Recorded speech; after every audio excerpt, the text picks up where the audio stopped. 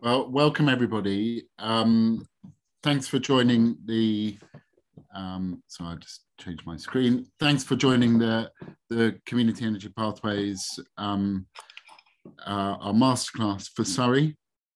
Um, over the last three or four months, we've been sending out questionnaires and talking to organisations and groups across Surrey and um, we're delighted to welcome you all here today um, on the day that the energy strategy has been launched. You know, it's been a big week for energy and everything that's going on, and um, the energy world is is an interesting place to be in, and resilient communities need to be at the heart of that, and that's really important for all of us.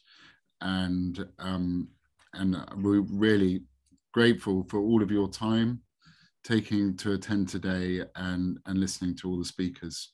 So I'll, I'll just give you a little introduction, if that's okay, to Community Energy South and what we do and, and why we're here working with Surrey County Council and Green Futures team.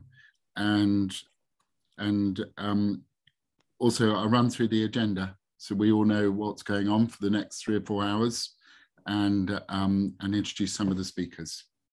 So without further ado,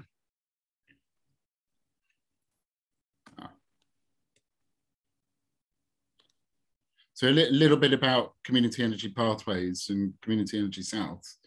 Um, Community Energy South was set up in 2013 um, following a, a year's program of mentoring for 12 new community energy groups. So we're based down in, in Lewes in East Sussex and there's a community energy group here called OVESCO, who, who um, works with Lewes District Council and in the Lewes area.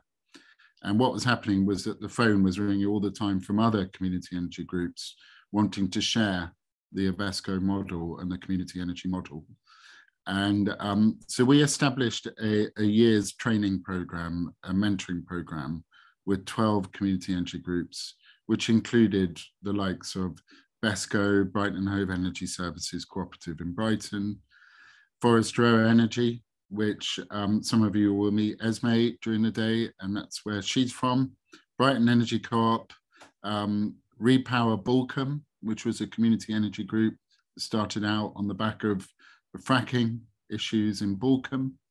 Um, Cuckmere Community Solar, that's working now with Network Rail on the Riding Sunbeams project, Hastings, Energize Sussex Coast, who are an excellent group who have defined fuel poverty work and supporting vulnerable people um, in vulnerable areas, and the list goes on. And those 12 groups are still working today and are thriving. They've got nearly 20 megawatts of projects, hundreds of renewable projects, heat and lighting projects, as well as solar, and um, as well as reaching about two and a half thousand residents, vulnerable residents a year with their fuel poverty programs.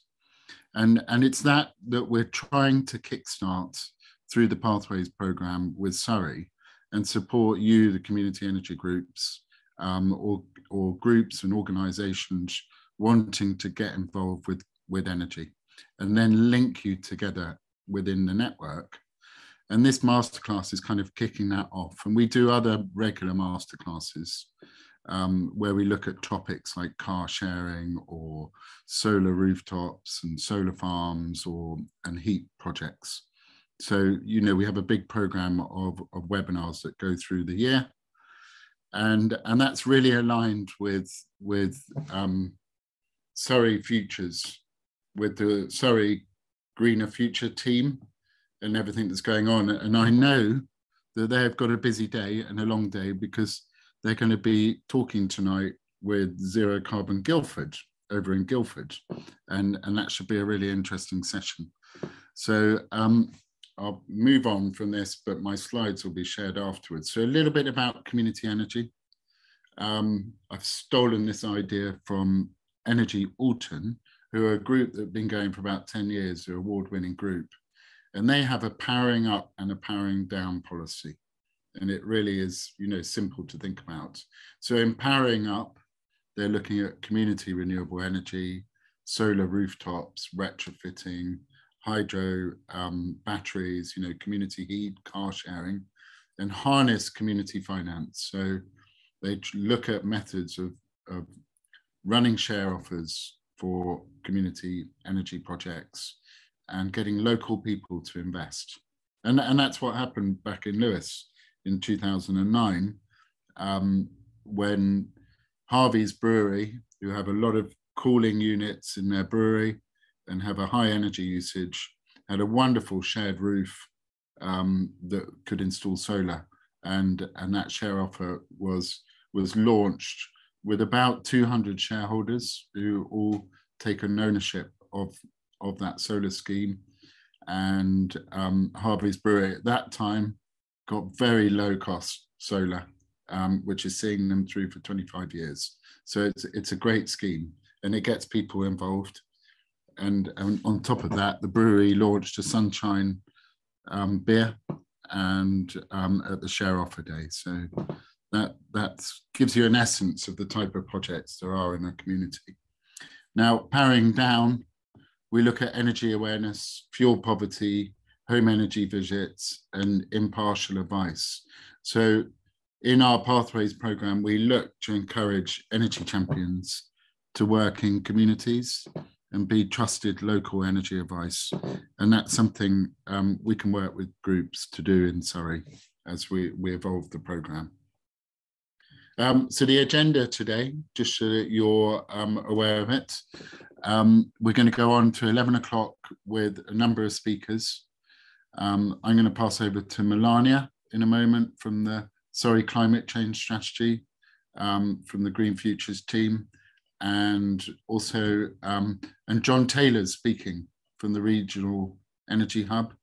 So we can find out what's going on in Surrey at the moment, what's going on in the region, and um, and then I'm going to pass over to Esme, who's our project director at Community Energy South and leads this program on partnerships and collaboration and how to start a project off, which will be really useful.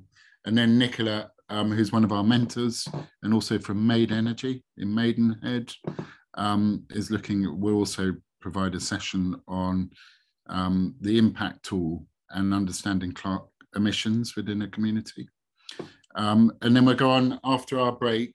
We've got the wonderful Alison Zaraki um, from Sustainable Overton, who's been through this journey. Um, she's now the climate change officer at um, Basingstoke and Deane. So there's lots to learn from Zara Alison, who's been doing this with Overton, started her own community energy team. Um, and also, and then we'll hear from Nicola again, Nigel Roby from Wey Valley Solar Schools, which will be excellent to hear about. It's actually started in Surrey. And then we look at um, district heating with um, Kathy Smythe, which will be really interesting. She's one of the leaders in, in community energy. And, um, and then finish off before lunch with Nikki Myers, who is um, working in communities and leads a project called Communiheat, um, which is a net zero village project. So taking a project, project a whole rural village to net zero. Um, and then after lunch, uh, we've got Patrick Culligan from Your Fund Surrey. Some of you may be aware of Your Fund Surrey, um, which is an amazing um, fund available in Surrey for community groups, and you can access that from Energy, and Patrick will explain for that. So that's a great opportunity and existing fund. Um, and then we've got breakout schools um, groups to look at schools, churches, heat, village halls, and energy saving, and to get us all speaking before we, we close. Um, and just before I pass on to Melania, our partnerships are really important within the community energy sector. Over the past 10 years, um, we've worked closely with BEIS, the Regional Energy Hub, and Community Energy England and other counties across the southeast to build a, a, a support mechanism for community energy. And, um, and we're seeing that weekly with communities wanting to discuss climate action and energy and how they can get involved and become resilient. So we're very honored to be in this space and supporting community energy groups and communities to do that. And please reach out for us and, and enjoy the journey. Um, also on our website, you can join and we have a weekly, a monthly newsletter and, and you can link into all of our webinars. So without further ado, Liz, I will pass on to Melania. Thank you.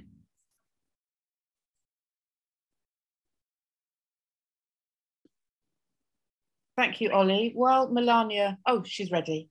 Melania, we can still we can see your slide, your side slides. Um, also, just while we're waiting for Melania to start, uh, we do encourage people to put lots of questions in the chat box. Uh, you'll find people are very helpful in these sessions and, and you'll get lots of answers, both from the speakers and within the chat. Perfect. Thank you very much. Hi, everyone. Good morning. Uh, so my name is Melania Tarquino. I'm the Strategic Energy Program Manager for Surrey County Council in the Greener Futures team. Um, I'm going to present you the climate change delivery plan and some of the work that, that we have been doing on, on energy and, and other aspects. And first of all, I want to say how excited we are uh, to be working in the pathways. Um, a year ago, more or less, we started discussing with our district and boroughs and, and other colleagues at the country what could we do to start encouraging more the community energy groups. And luckily, we came across Community Energy South, which offered exactly what we were looking for. And it's really exciting to see so much interest already in the very early stages of this pathway. And yeah, we will do all what we can from our side to, to support these groups. Um, so yeah, thank you very much for having me here. This is Melania, are you able to turn yourself up a little bit because you're quite quiet? yeah, I'm having some with my microphone. Sorry, you'll have to see my face much closer than you would like to, but that's the only way. Can you hear me better now? I can hear you loud and clear, Melania. Okay, sorry. Um, okay, so just to start with the uh, picture of the carbon emissions in Surrey, uh, this is for 2018. We had 1.5 of the UK total annual emissions, and the majority, as you can see, 37% comes from transport, road transport. Just to give you an idea, Surrey has a above national average car ownership, uh, and is one of the top five counties for traffic. So that's an area where we have to do lots of work, but also on um, gas and electricity for residential and non-residential properties. Those are the, the higher emitter sectors. And we emitted 6.6 million tons of CO2 in, in 2018.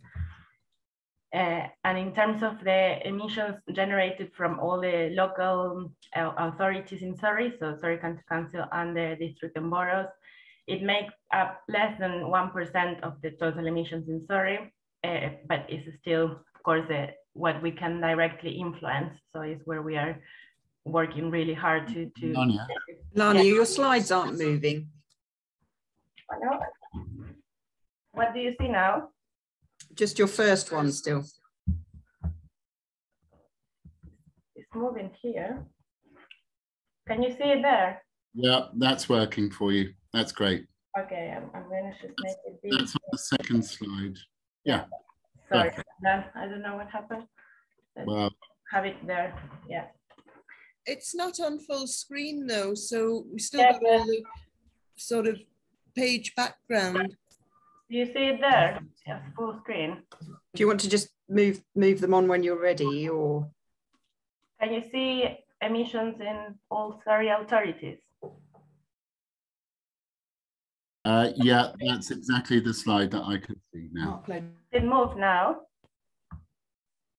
Is it moving? Let's have a look. Um, okay.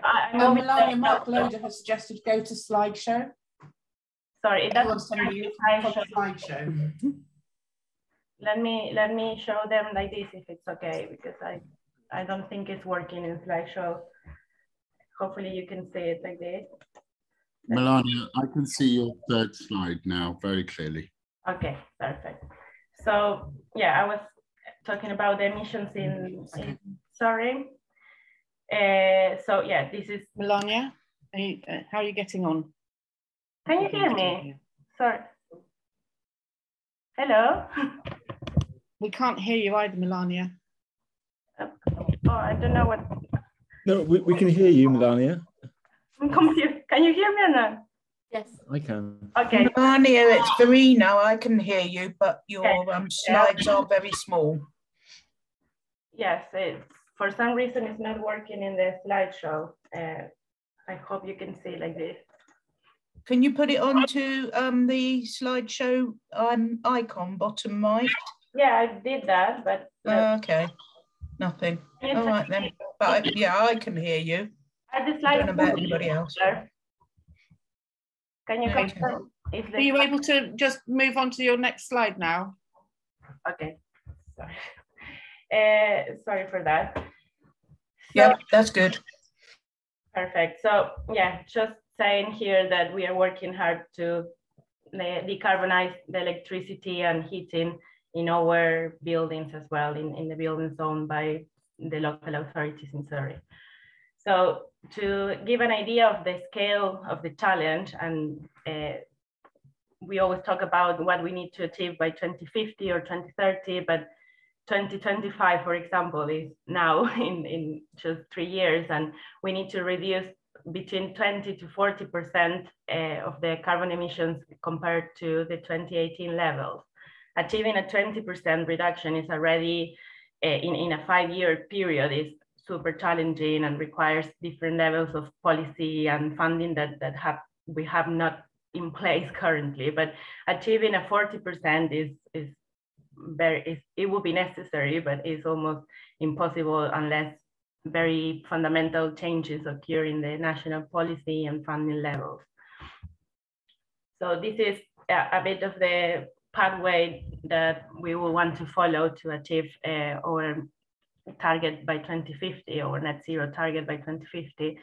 Um, but you can see by 2025 what we will need to achieve yeah, and the extent of the challenge is for 53,000 homes with low carbon heating or uh, 7,800 businesses with low carbon heating and 6.2 million additional solar panels, etc.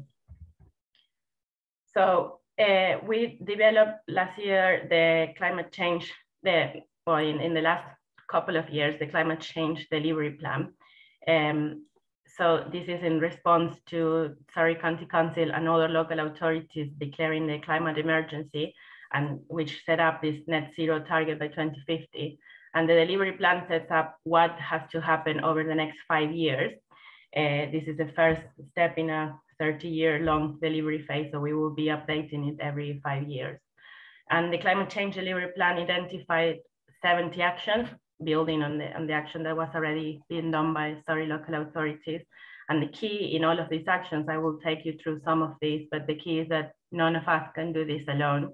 This requires uh, partnership work and collabor collaborative work with residents, businesses, and academia. And of course, I added there the community energy groups.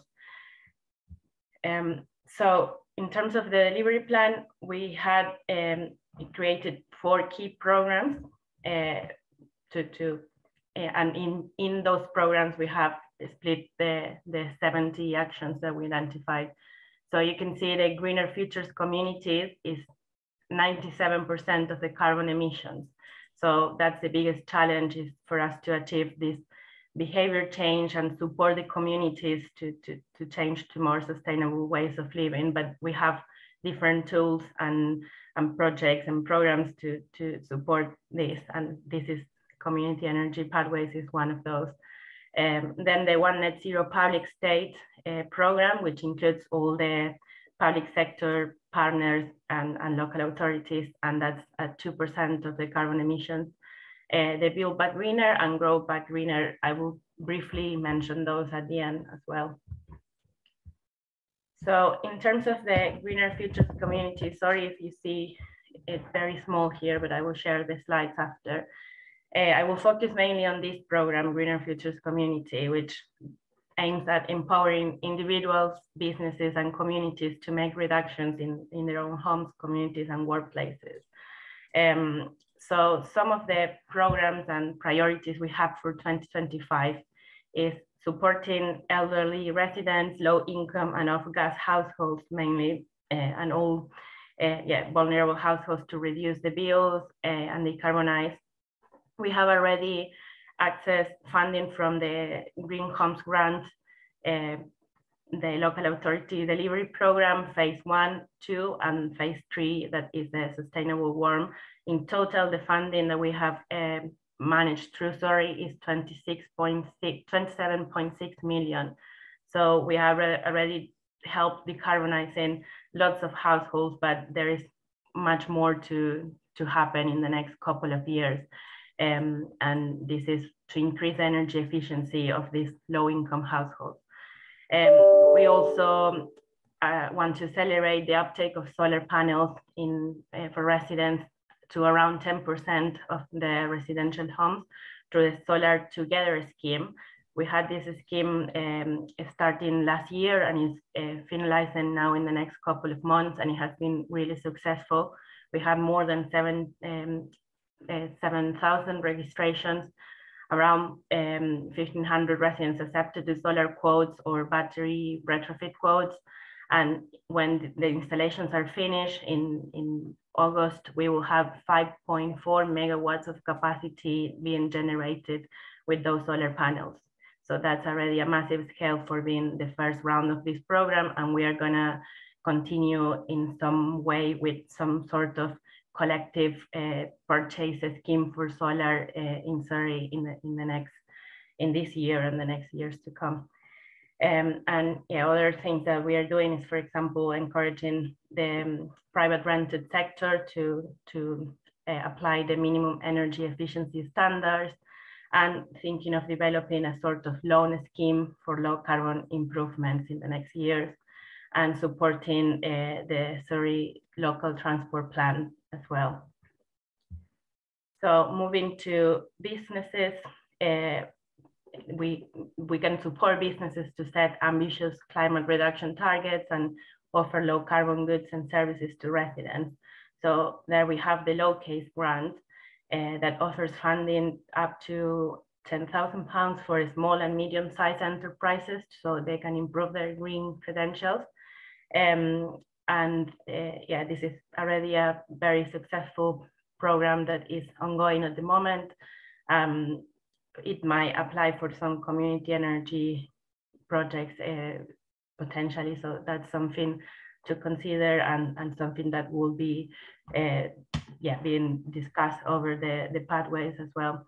And supporting the creation of job opportunities and, and transfer job transfers to the green skill market through the, for example, a Green Skills Academy. So that's a project that we are working on trying to um, planning how to uh, train and gas boilers engineers, for example, to, to be heat pump installers.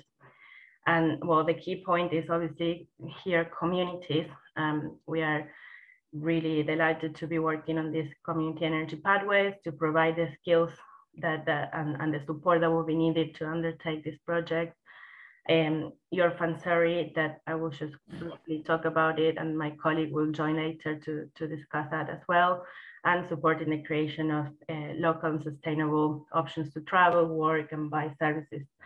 Um, so just to give you an idea of the extent that we need uh, to work on, Surrey needs to contribute to the grid decarbonization by increasing the capacity of renewable energy by 1,244 megawatts of of low carbon energy. And well, yeah, I mentioned before the 6.2 million solar panels and other forms of renewable energy. So uh, your Fund Surrey, I'm not gonna make much focus here because uh, we have a colleague joining later to, to talk about it, but it's, it's really a key program that, uh, that could apply for some of the community energy projects that might arise from this pathway and it's a 100 million pounds um, um, fund offered by Surrey County Council for community projects and to cover capital costs uh, that for projects that will support and improve the lives in the local communities. Um, so yeah, I, I, left the link there for, for more information and, and then you can ask all the specific questions on that program to, to my colleague. so for the the other program, the One Net Zero Public State, which is to support local authorities um, and of course ourselves to reduce carbon emissions in our own buildings and vehicles and supply chains. Uh, chains. So we are working towards the 2030 net zero target in Surrey County Council uh, and uh, by achieving a 40% emission reduction in, in our buildings and vehicles by 2025. And that's a massive challenge for ourselves because we have around 600 buildings to decarbonize in, in a very short time frame. Um, decarbonization as well of schools and other public sector buildings and working, supporting the NHS, police and other, or collaborating with other public sector bodies uh, to, to work on this. And of course, maximizing the renewable energy generation and especially solar power in our public land. And we have uh, identified a big, big uh, capacity of around more than 360 megawatt uh, capacity in our land available um, for solar developments. So that's something that we are currently working on and we are very keen to collaborate with community energy groups and potentially uh, yeah, analyze the possibility to, to develop some of these sites with uh, or, or let these sites to be developed by community energy groups in the future. Um, and the same way, if we can find ways of getting community energy groups to, to support us in the in our in the decarbonization of our buildings, that will be also something that will be a win-win for both parts. Um, and while the other two are more on in terms of uh, sustainable procurement practices and, and, and sustainable travel for our staff. um, the last two slides then, uh, the other program is Build Back Greener, which is more focused on the planning decisions and designing uh, and regeneration projects with uh, a zero carbon future in, in, in mind. Um, so designing, for example, with uh, bearing in mind the adaptation to the impacts of climate change as well. So we're working on the Surrey infrastructure plan um, and low carbon planning decisions that, that follow uh, zero carbon targets, developing a Surrey-wide transport network that prioritizes walking and cycling and public transport, as well as electric vehicle charging, um, supporting the transformation of a low carbon energy system by considering the potential for solar panels and heat networks. So we have been starting to do some work as well to identify potential heat network opportunities in Surrey, and we, we intend to continue developing those further. That's as well maybe a potential opportunity to, to work in collaboration with community energy groups. And well, well, um, having a resilient plan and climate, uh, climate change adaptation plan and adapting the flood management strategy uh, as well to, to the climate change impacts. And the final program is the Grow Back Greener, which uh, aims at managing the woodland, green spaces, and farmland to maximize the ability to absorb carbon uh, from the atmosphere and grow food sustainably and improve the habitats needed for wildlife wildlife to thrive. So we are working on the land management fram- framework and uh, also planting around 600,000 trees uh, um, and yeah, bringing the woodland back into good management. Um, so yeah, it's just a quick uh, overview of the climate change delivery plan, but you can find more information in, in that link in the website. Um, if you have any questions as well, you can send us an email. Um, yeah, and I will be here for to reply to any questions. But again, I wish you a very successful session and I'm delighted to see so many people here today. Thank you very much. Thank you so much, Melania. That was a very encouraging and interesting uh, presentation. There's quite a few questions in the chat. Um, so if there's anybody from Surrey County Council able to answer those, that would be great. I think a couple of the questions will be answered probably a bit later um, by some of the future presentations. I would, um, I'm going to hand over to John now from, uh, it, are you the, well, he'll tell you, Net Zero Hub, Energy Hub, they've renamed. So let me hand over to John. All right, thank you very much, Liz. Um, can you hear me okay? Yep, so good. Um, yeah, so literally, um, this is the last presentation I'll be giving as the Greater Southeast Energy Hub because um, as of today, we're rebranding as the Greater Southeast Net Zero Hub. Um, so that's um, very welcome move to um, a little bit of a background about who we are. Excuse me, just there we go. So um, yeah, we're a team funded by BEIS, um, and our role is to be an extra resource for local authorities and community groups to draw on to accelerate the delivery of um, net zero projects out in the regions. Um, so I personally work down um, in East and West Sussex and Surrey um, is my area, and yeah, you can see we provide resources and support for local authorities and um, we also deliver several um, funding programs for BEIS, including the Green Homes Grant Energy Efficiency Scheme and the Rural Community Energy Fund, which is very relevant for today's session. Um, so the Rural Community Energy Fund, um, it finished actually in February 2022, but through that we supported 54 projects across the region um, with feasibility study and development grants. So groups very much like yourselves, volunteers wanting to do more on climate change and renewable energy. Um, and um, this, the aim of this was to help you buy in the expertise needed to deliver your projects. Um, um, so yeah, it could be um, help getting technical support, legal support, things like that to yeah, fill in the skills gaps within your groups. Um, when we agreed to do this talk, we were hoping we would have um, a new funding announcement to what will follow on from the Rural Community Energy Fund. Um, nationally, the, it's all been delivered successfully, so I think, and public interest in this sort of approach has never been higher. So I think we've demonstrated the demand is there for something to um, continue. Um, but as soon as we hear whether we've got the resource within the Net Zero Hub, we'll certainly communicate that out through Community Energy South. Um, we're officially going to be supporting community energy pathways grow um, throughout the next financial year.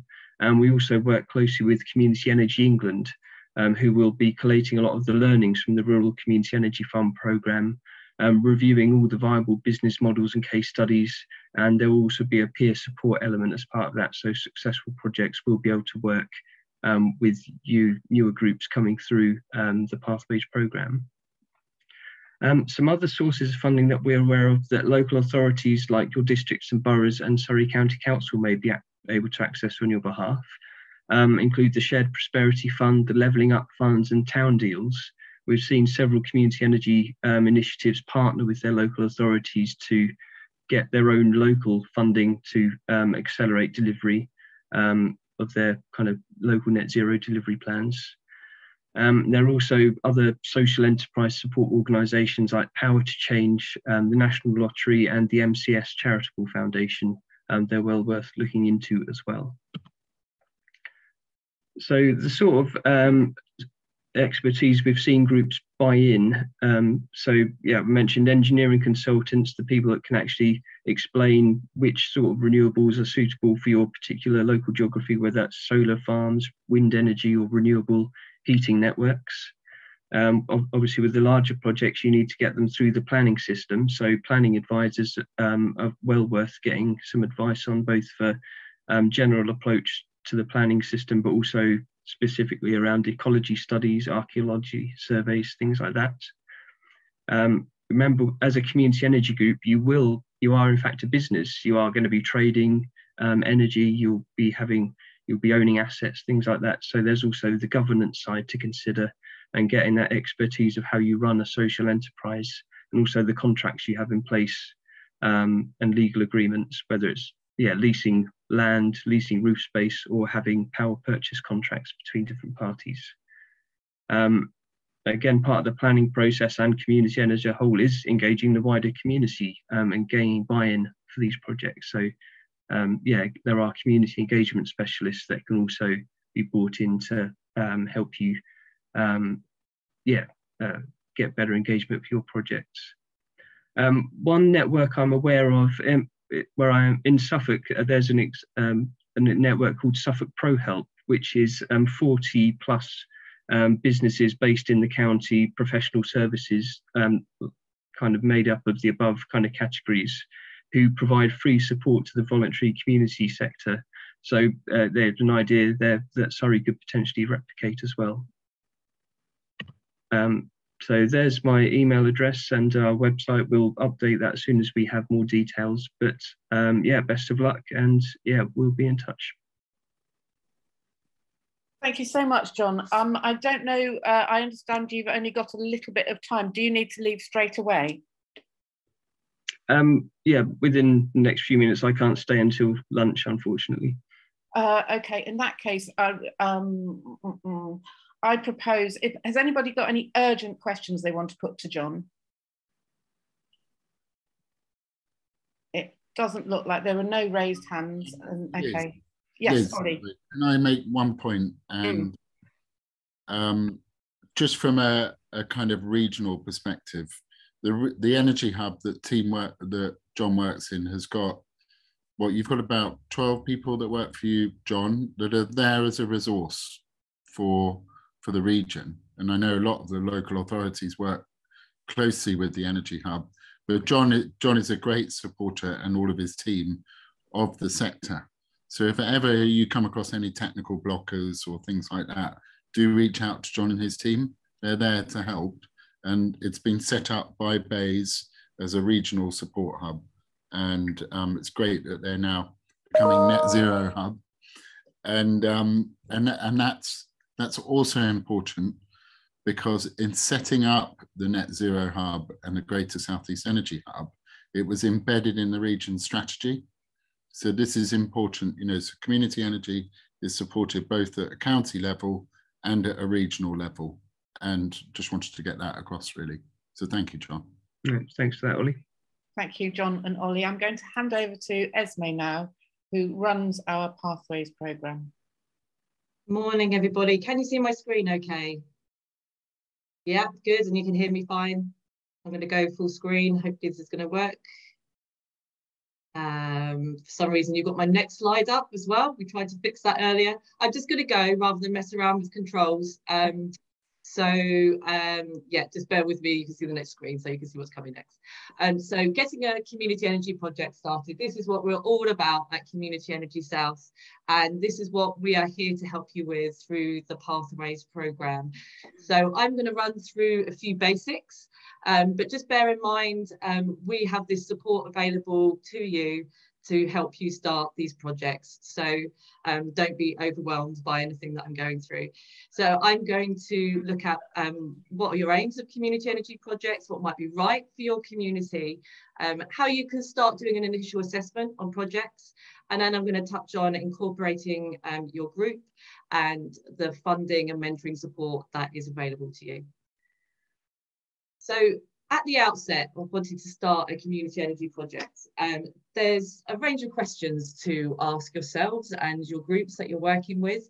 Um, so what do you actually want to make happen? So there's lots of different options that are available. So for community energy projects, they are essentially energy projects that are led by people in your community. Esme, Esme, yeah. I'm sorry to interrupt you. Must be a glitch today on Is it not moving forward? Yeah, it's not moving forward. It's the same as Melania. It's oh, okay. It's funny how this has happened. Can you see yeah. this now? I can say I can know. Ah, yeah. Now so, you... I'm, so I'm taking your presentation mode. Yeah. And can you see it now? Yes. Next one. So I'm going to just flick through it this way. Okay. What do you want to make happen? Yeah so i so yeah it's it's not in presentation mode but you can see the slides so that's that's all fine. So what do you want to make happen? So first of all community energy projects. They're simply energy projects that are led by people in your community. And they could be a whole range of different projects. They could be renewable energy projects. They could be energy efficiency projects retrofit projects. They could be fuel poverty projects. Of course we're massive energy bill increases at the moment. It's going to be really important in your local community that people can save energy and cut their energy bills as well. So there's a lot of work done in fuel poverty with community energy. So community energy companies, um, you could be thinking of starting up a community energy company. You could already be part of one. Um, you may have a charity or a more of an informal group that you're linked with or maybe looking to join with. Uh, they can be all sorts of shapes and sizes. Many community-owned uh, community energy companies own renewable energy installations and many don't at all. Many run projects funded by grants and they may also offer consultancy in their local community. So there's all sorts of shapes and sizes. So at the start, think about what you want to make happen. And I would say aim small to start with. And then have a think about what's right for your community. So you could start to undertake a mapping exercise. First of all, it's important to look at where all your high energy users in your local community. So these are the these are the organizations and the businesses that uh, going to be easiest to work with in terms of supplying renewable energy because they have a high energy consumption. So for example, a railway um, or a, a large factory or anything that's going to have a high energy use, a school as well. Um, and what are your high profile energy users? So you want to target your high energy users, but also who's high profile in your local community. So um, when we did our first project in Forest Row, we had uh, solar panels installed on our parish council, village hall. They were in the centre of the village, very well known. It's good to get the momentum started and good to get yourself known by doing a high profile project. Think about whether you're looking to do things in rural or urban areas. So this can really define what type of projects and the logistics around them, uh, whether you're going to be more sparsely uh, populated, whether you may have, be using heating oil. Uh, just think of the context in which your project is in. Um, and also you may want to run a fuel poverty project and energy advice. You don't have to start looking at renewable energy and energy efficiency if that seems like too big to start. Start small, offer some energy advice in your local community and we can support you with all of these. So think about um, what support is available in your local community, what's already happening, what partnerships can you establish?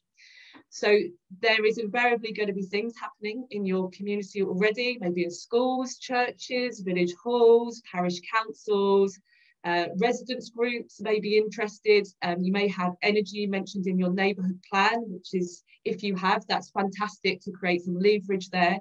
So at the outset, we recommend doing a little bit of scoping in your local community, getting in touch with people that are already working in this area. And then when you look to go forward, have a think about any planning issues that you may encounter. Um, so of course, Surrey, you have the Surrey Hills, AONB. So in those areas, it's gonna you're gonna need to take a slightly different approach if you're looking to develop renewable energy. Um, it, it's all navigable, um, but there's issues you need to take into account. And most importantly, you need an engaged site owner. Um, it sounds like a basic thing to say, um, but that is often where the greater amount of work is, getting a, a site that is interested, engaged, and that you can sell the concept of community energy to. What type of project you want to do? So a whole range of different renewable energy projects. Um, also here, not mentioned on this diagram, uh, retrofit projects and energy efficiency projects. So starting out, we're probably going to want to think about electric cars, EV charging. You're going to want to think about uh, solar PV and heat pumps as well.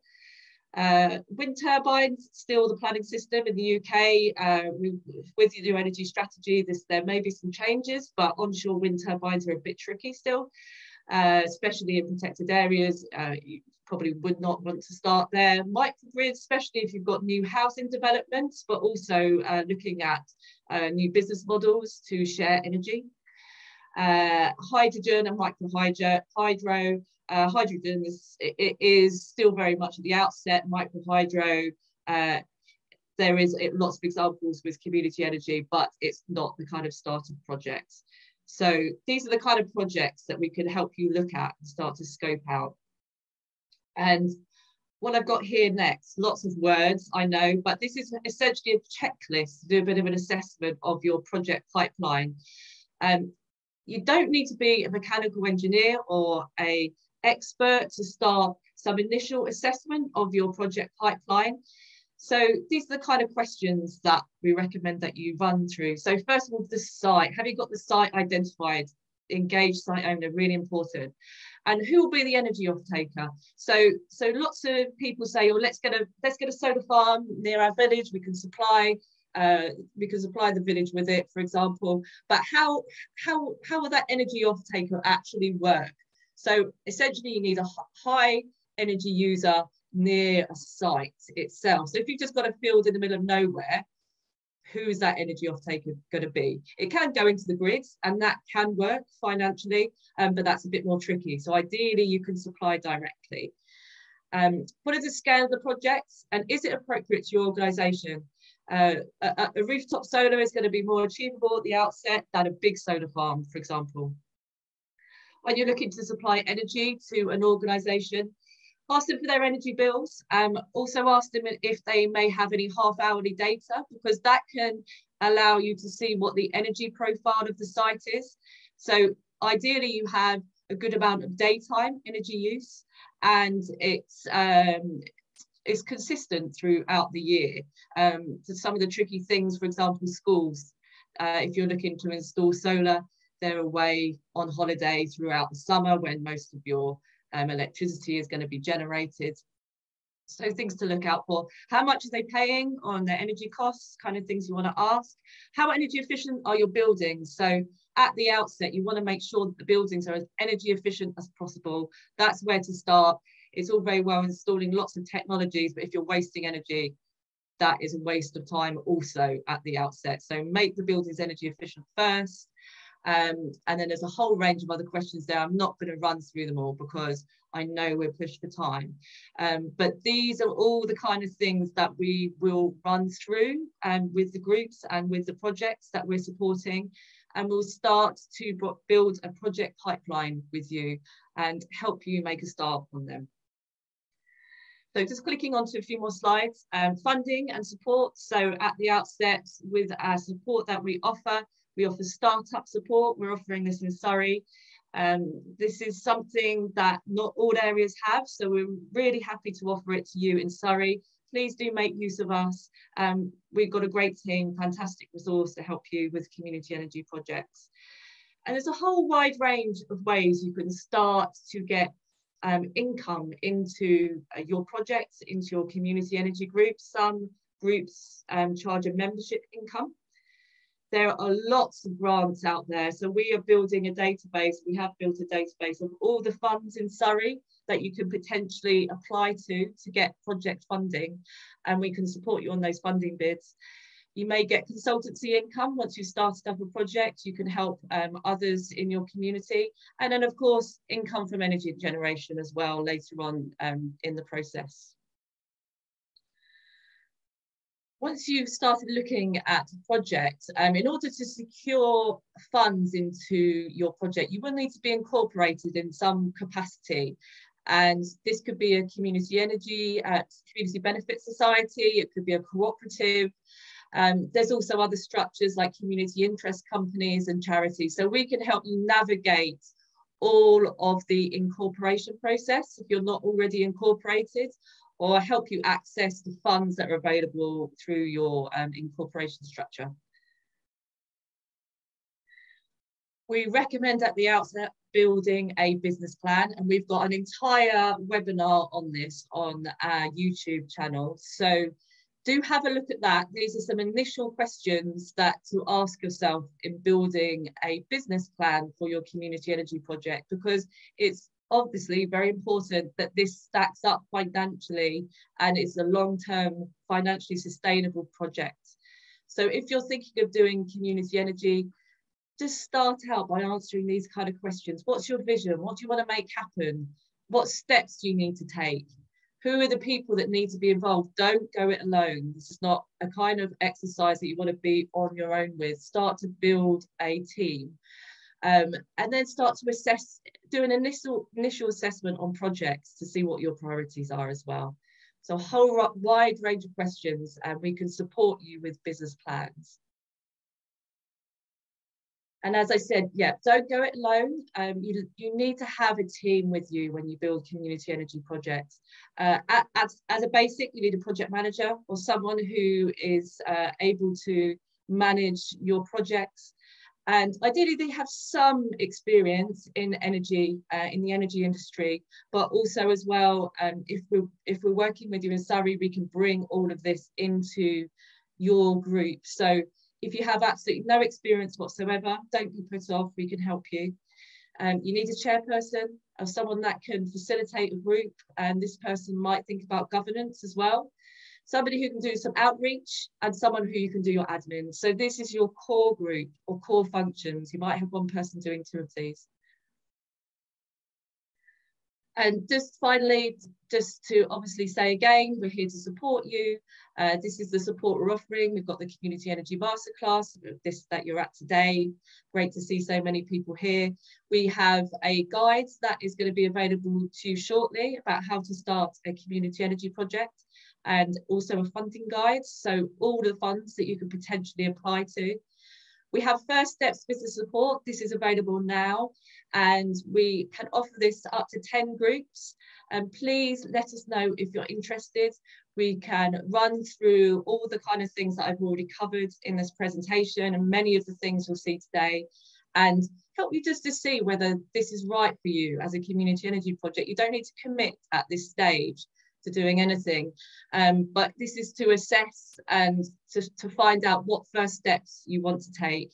And then um, we have five places for next steps business support following that. So this is when we're going to go into real detail with the groups in Surrey, help you build a business plan, work on with funding bids, and essentially get your community energy business up and running. You will get a mentor that works with you, and you will get access to an entire team of people that have done all these projects before.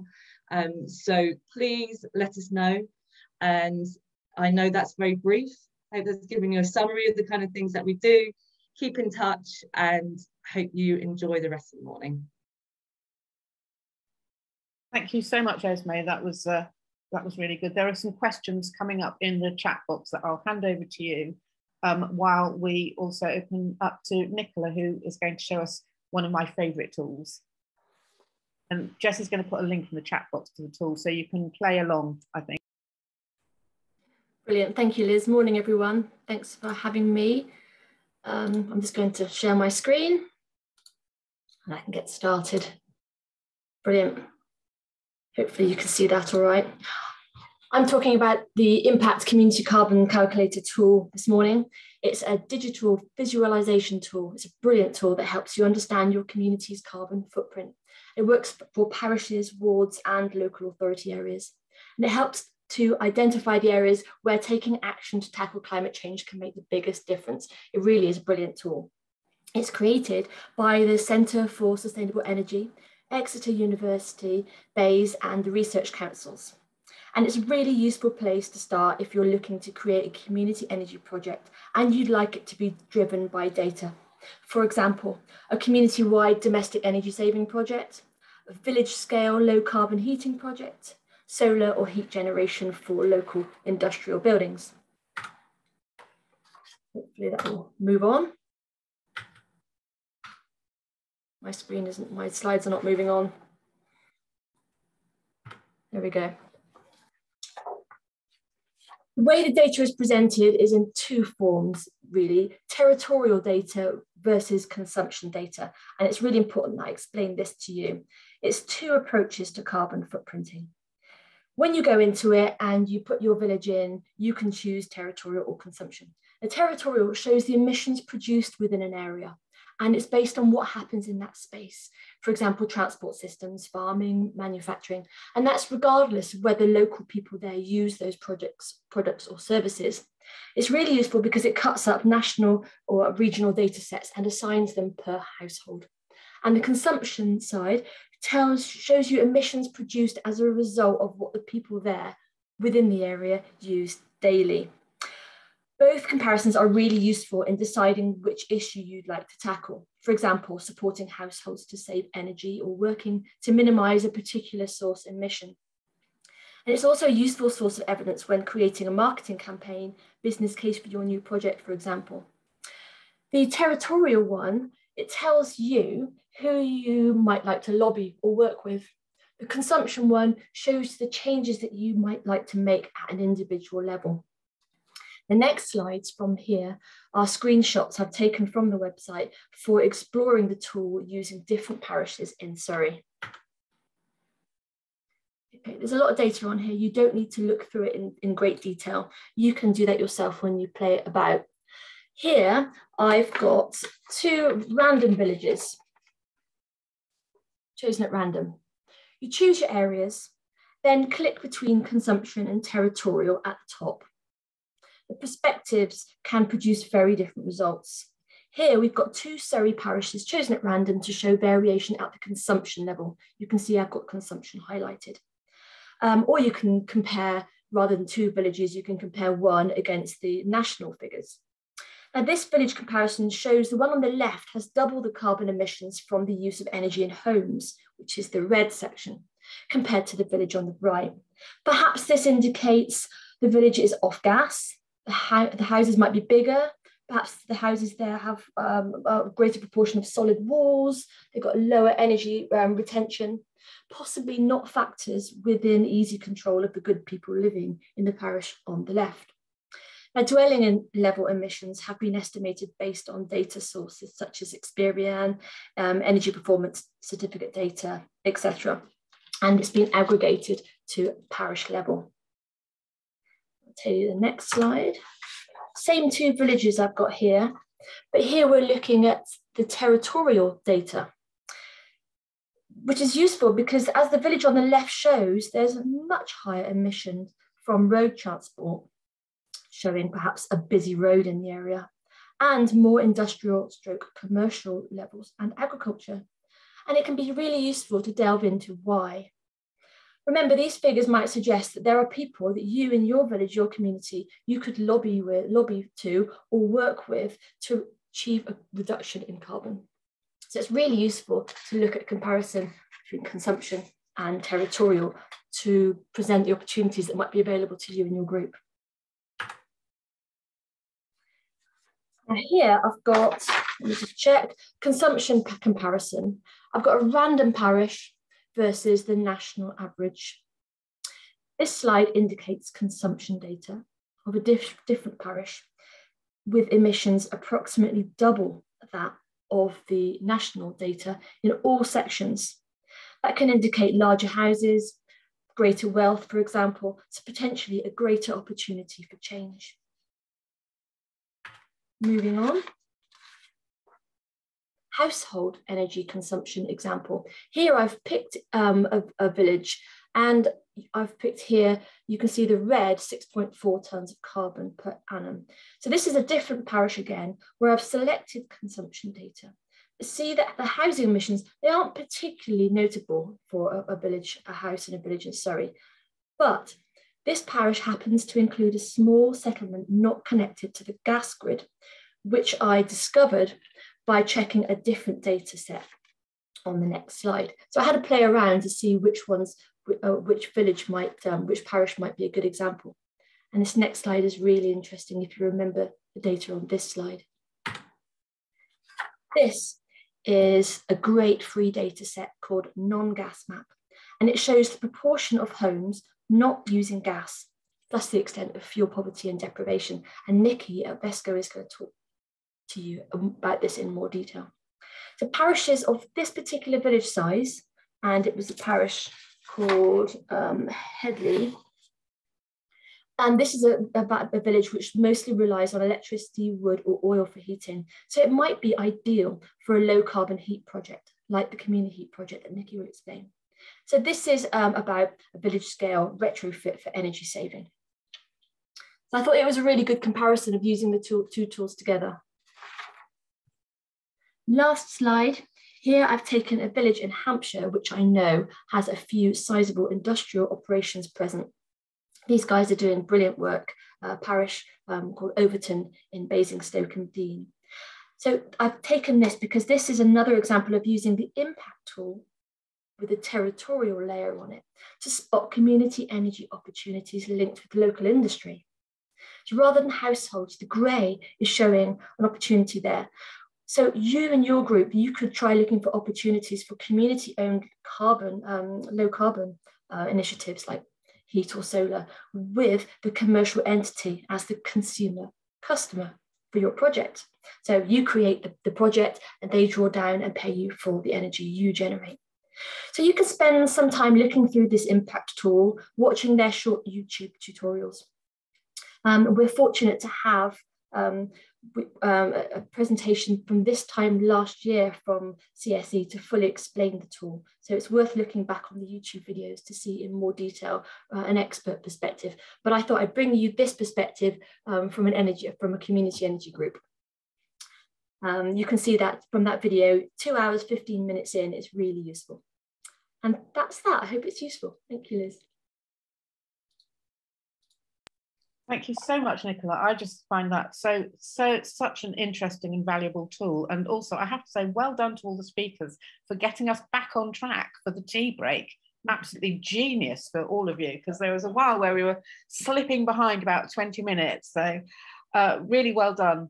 Um, and yeah, I just thought those were really inspiring presentation. So thank you very much. Uh, we're going to have a, a, a half hour tea break now. Uh, so, you know, do go and get yourself a cup of tea and join back, uh, uh join us at half 11. Some of us, I imagine, will still, still be sitting here. So, uh, you know, you might want to come and chat to Nicola about the tool, or if Esme is still here, which she is, you could come and chat to Esme. Um, and yeah, and uh, see you see you all at half 11. Thank you very much. And I'm going to start talking now. Yes, I agree, Christopher. It is that tool is absolutely just genius. And I thought how Nicola put it together with uh, how to use the tool and how to use it for lobbying is, I mean, I'm just really good, Nicola. Thank you so much. It's very inspiring. It was very clever, Nicola. Thank you. I'll be ready to kick off. Oh, okay. So, and there have been a few moments this morning where people, oh, perfect. Right, but I suggest we wait till 11.30 on the dot so people don't feel hard done by if they join at 11.30. I'm guessing you're unmuted, but I can't tell. I am unmuted, yes. And it's 11.30, so I'm handing over Hooray. to Alison from Sustainable Excellent. Overton. Thank you, Liz. So I'm Alison Zarecki. I am a director at TestSource Community Energy. Um, so what I'm going to do today in, I think I have 15 minutes, do I? I'm going to take you through our journey from our inception at year zero until now, which is where we have a share offer, poised, ready to go. But I have to say, sadly, nothing is signed yet. So um, I was hoping to have better news, but fingers crossed soon. Right, hold on. How do I do my next slide? Ah, I can't get it to move. Sorry, I'm more used to Teams than uh, Zoom. Can you press enter? Ah, there we go. So that's that's us, uh, uh, minus two directors. So we have 10 directors, um, and we're, we're lucky to have found a, a really good um, uh, people who've got some great background, which I'll go into in just a moment. Um, so the first thing was obviously you need to build your team. Um, so our team grew out of our, we have a climate change group called Sustainable Overton, and the energy group from that, it started off with three people, um, but we recruited more and we found that uh, having a stall in our village centre was really useful. We put up a stall with lots of information about community energy, and we've found people who are accountants, who work in renewables, heat pumps, solar, um, Southern Gas Networks. So we've we've put together, I think, a really strong team. So I think uh, recruitment is obviously very important. Um, the second thing is obviously you need to decide your vision. Uh, and we had a twofold vision. So the first one was obviously we want to decarbonize the parish. We had an ambitious target of carbon zero by 2030. And um, so we need to increase renewable energy. And the second was to help residents to be more energy efficient, insulate the houses, conserve energy. That's obviously particularly pertinent at the moment uh, with the energy crisis. So for that, we actually have some energy champions, uh, which I'm not talking about this time, but um, uh, that's something which you can have a look at on our website if you're interested. So um, next thing obviously is to identify your sites. Um, so we we looked through the entire parish, uh, looking for sites that are now going to be suitable for a post-fit model, um, if that makes sense. So the fit being the feed-in tariff, um, and now that there is no feed-in tariff, you need a, a big site with a good roof with a really high energy usage. Um, and it's quite hard to find this actually because you get, you know, you can get great roofs, hardly any usage, big usage, terrible roof.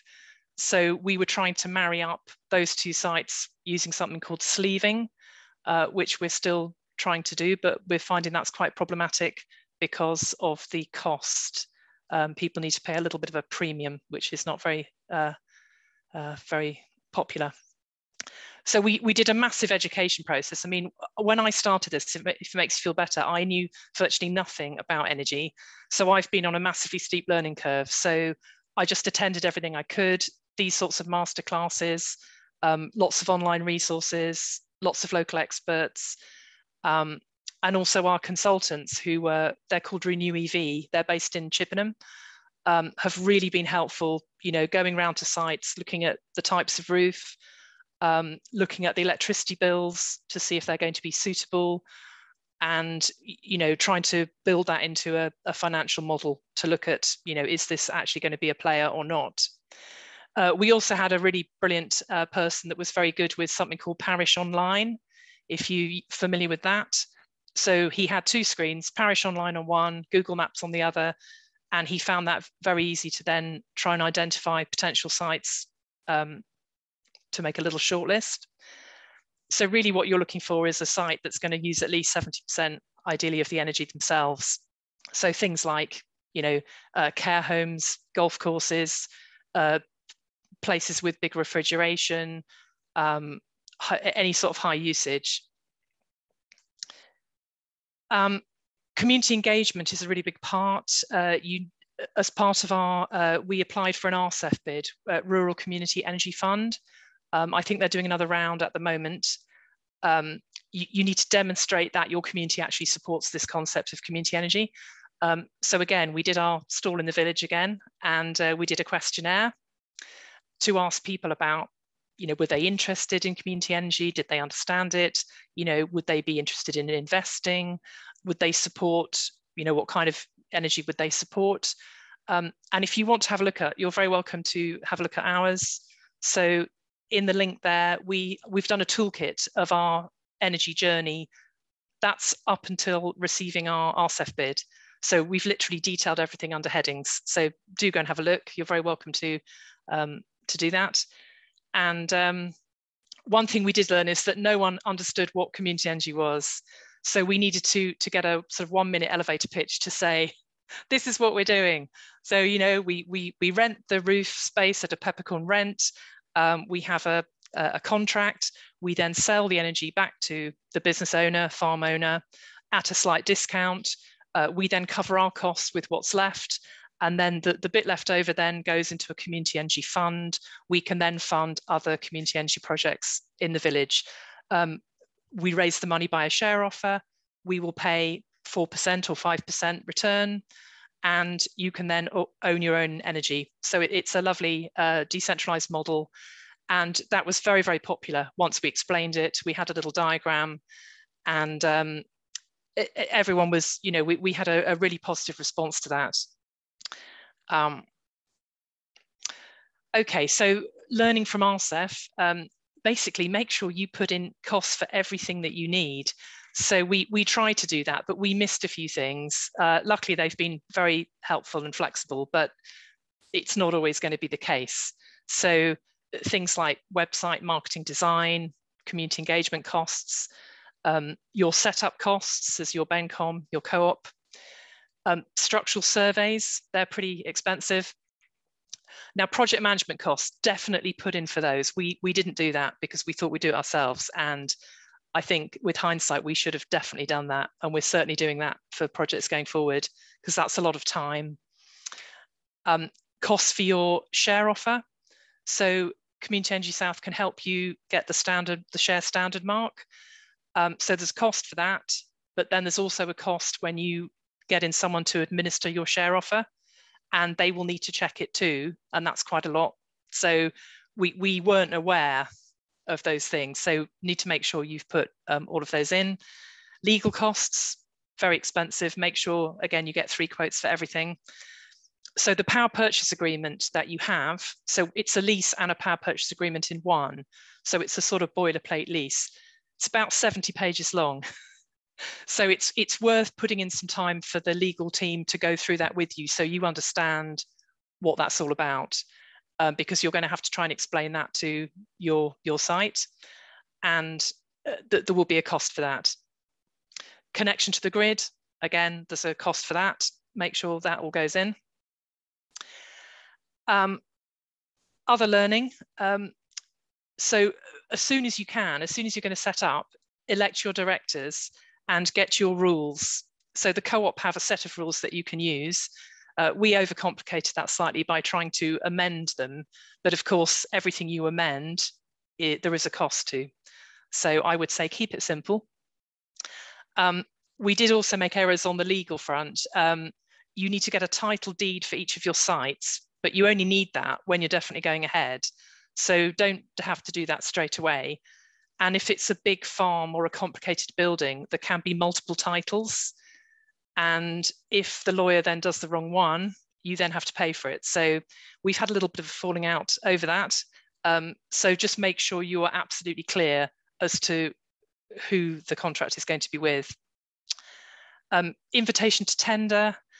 Um, it's useful to have a weighting for each of the, the things that you're looking at, you know, because when they come in, how are you going to decide which is better? Is it their you know their experience? Is it health and safety? Is it you know what is it you're going to be looking at? Bank account this is just crazy. It, it's taken over 12 weeks. We have been unable to open a bank account. Um, i would start opening your bank account straight away to avoid that. Um, and we still haven't managed to get one open. Um, also make sure you utilize the consultants that you use with RCEF they're so knowledgeable and it's really handy to have them or, or Community Energy South to come to your meetings because you will be asked questions and we, we had questions we simply couldn't answer and you need to have an expert there to be able to you know to, to explain things to them um, really key piece of learning is make sure everyone is on board. Uh, this is what we're struggling with at the moment. You can have the whole management team on board, but if there is a decision maker who maybe is an owner who only comes in occasionally, you know, they need to be completely on board because otherwise it, it's very complicated. They can become confused. Um, you need to get them uh, need, need to get them on board because they're the ones that are going to be signing. Um, Community Energy South are brilliant, uh, incredibly useful. They can help you with so much stuff. So definitely uh, work as much as you can with them. And uh, I think it's really imperative to have an accountant if you can, because the financial model, um, you do need to play around with a lot of numbers. So um, I don't, don't, know what we would have done without our accountant. Um, and then the other really obvious thing is, you know, understand the process because it's hard when you're going through it because you don't, although you know where you're going to end up, there are so many things that have to happen. And obviously you'll, you'll build, your consultants can help you make a Gantt chart to show you when it's happening. But it's just the sequence of events you know, what do you have to do first? What can you do?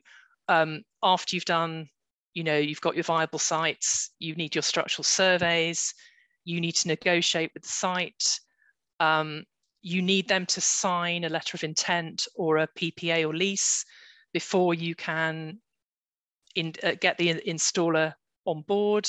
The installer needs to obviously schedule the install, uh, the share offer will take time to set up, then it will take time to run.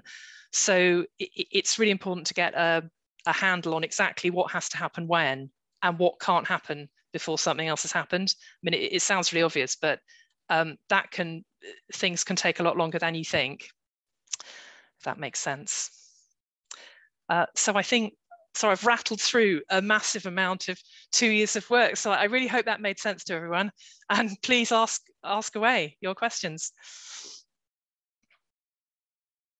Alison, thank you. That was, uh, yes, clear and uh, just really, really clear and really useful advice as always. I, particularly, you know, I like the advice about the bank account, and I said we had had issues, and other people also in the chat box put that they'd had issues. So, yes, thank you. Uh, we've got three minutes for questions. Wow, I rattled through faster than I thought. You've done really well. So if anyone has a question, I suggest you unmute yourself and go for it, and then I'll stop you at 40, 11.45 and we'll, we'll move on to uh, Nicola. Can I, can I ask a question? Please sure. do. Yeah, um, um, that was a great presentation. Did you have sort of um, benefit success measures, that sort of thing? And have you tracked them and seen how well you've done against them?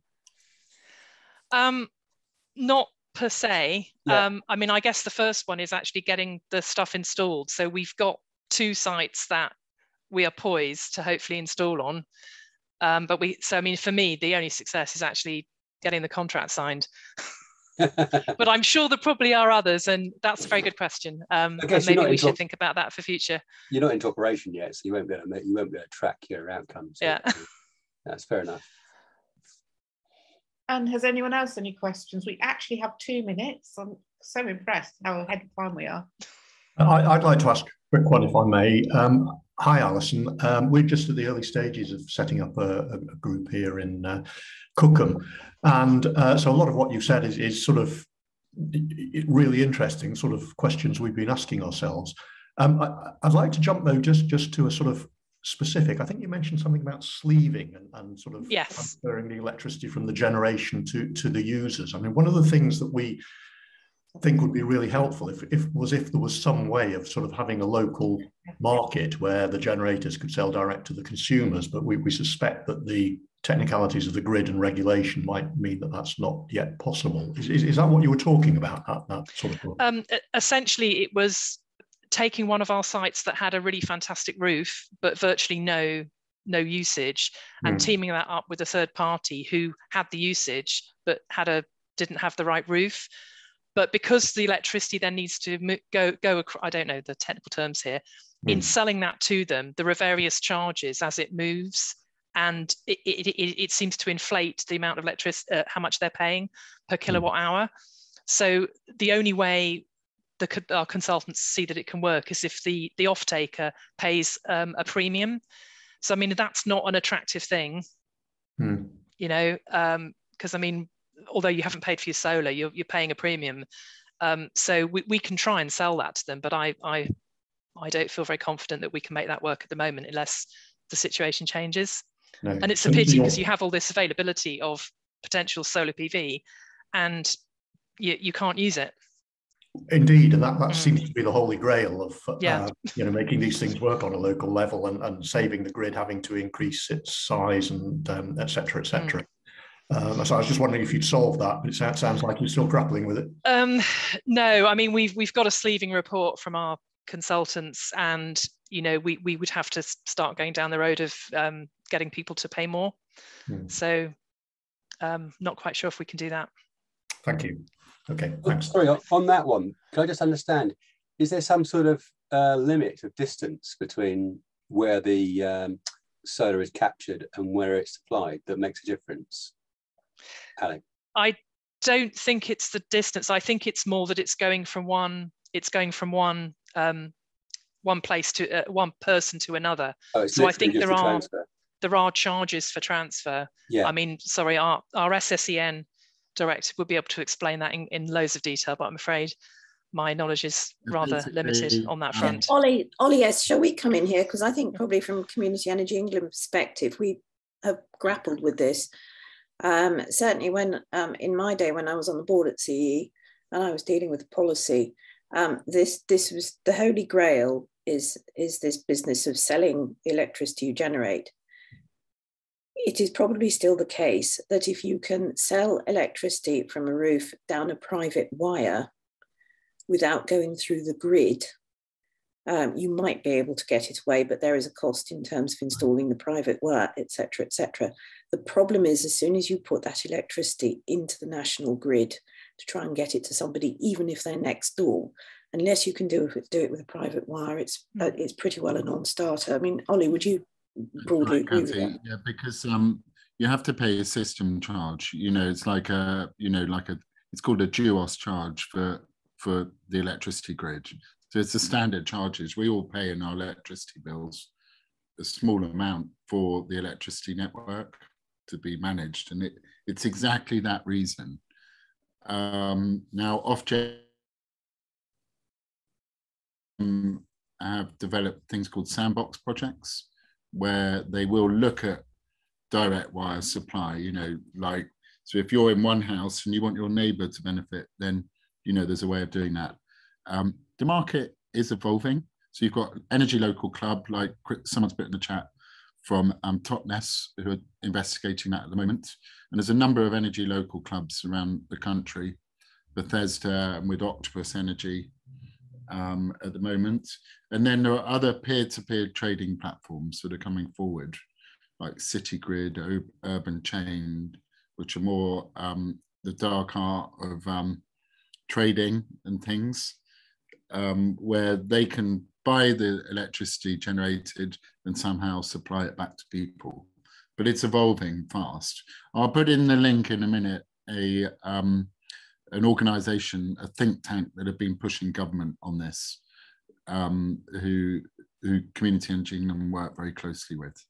So it's definitely find your projects, like I say, like a street or a direct project, and let's raise these projects, look at examples because it is a space that is evolving at the moment. Thank you. Thank you, everyone. I'm going to hand over to Nicola now. I have my eye on the clock all the time. Um, so yeah, I'm going to hand over to Nicola, who's going to talk about renewable heat and projects they've done with MaidEnergy. Thank you, Liz. I'll just find my presentation. There it is. Okay, well, I'm going to talk about MaidEnergy because I am one of the um, eight board members of MaidEnergy, which is East Berkshire, crossing over into North Surrey. Now, we, um, we're going to, I'm going to talk about renewable heat because we've just done a project there which was very successful. So I'll give you an exact that example of our, of our latest MaidEnergy activity and ideas for new heat projects because, of course, the RHI doesn't exist anymore. I'm trying to move forward on my slides. Nothing's happening. There we go. MaidEnergy is a community energy organisation operating in the area I've just mentioned. We've got seven solar sites uh, amounting to about 400 kilowatts on community buildings, so schools, leisure centres, art centre, etc. And one of them is has been done without the feed-in tariff, and that was a large one on a brand new leisure centre roof. Our last project was a ground source heat pump initiative, which was a 60 kilowatt power um, heat um, supply on a leisure centre, and that was with the uh, renewable heat incentive. We're not huge, our total assets are um, um, 0.1, of a million. The leisure centre that we put the heat pump on um, had eight gas boilers and they were coming to the end of their life. They couldn't afford to replace it them. They didn't want to replace them with, um, with gas. Uh, they wanted to look at um, low carbon options, especially as there were other financial um, opportunities that came along with that. So we, as a community benefit society, secured funding for a feasibility study to explore what the options were.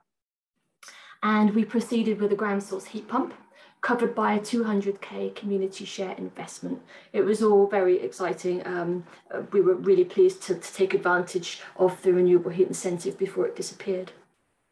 Interestingly, the site actually wished to own the asset. So we transferred it to them in exchange for future income based on a minimum amount generated from the renewable heat incentive.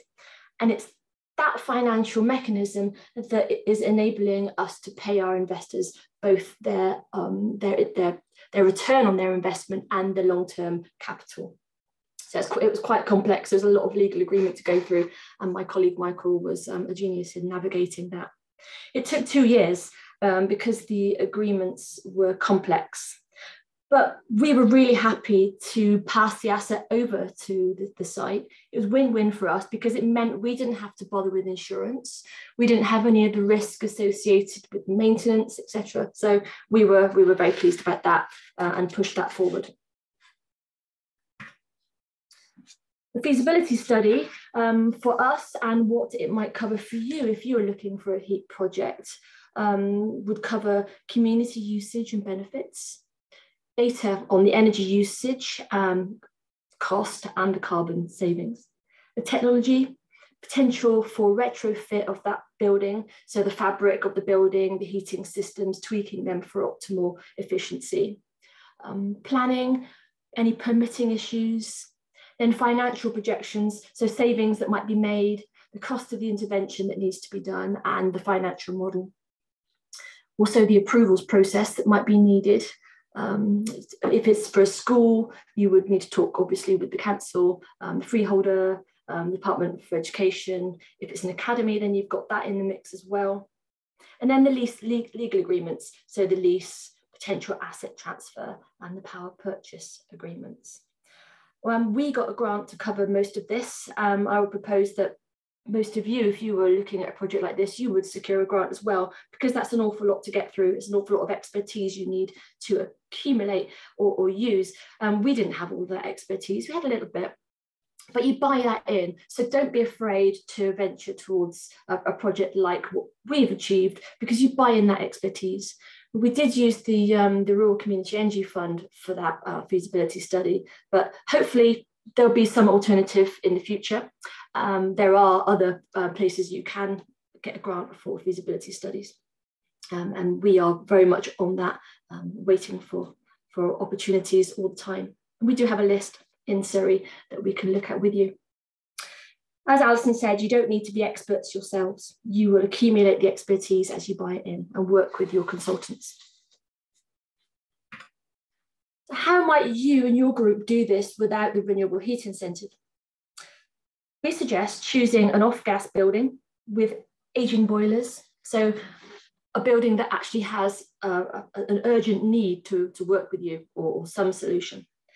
And it would be a building user with a definite long-term use so that you can model a response.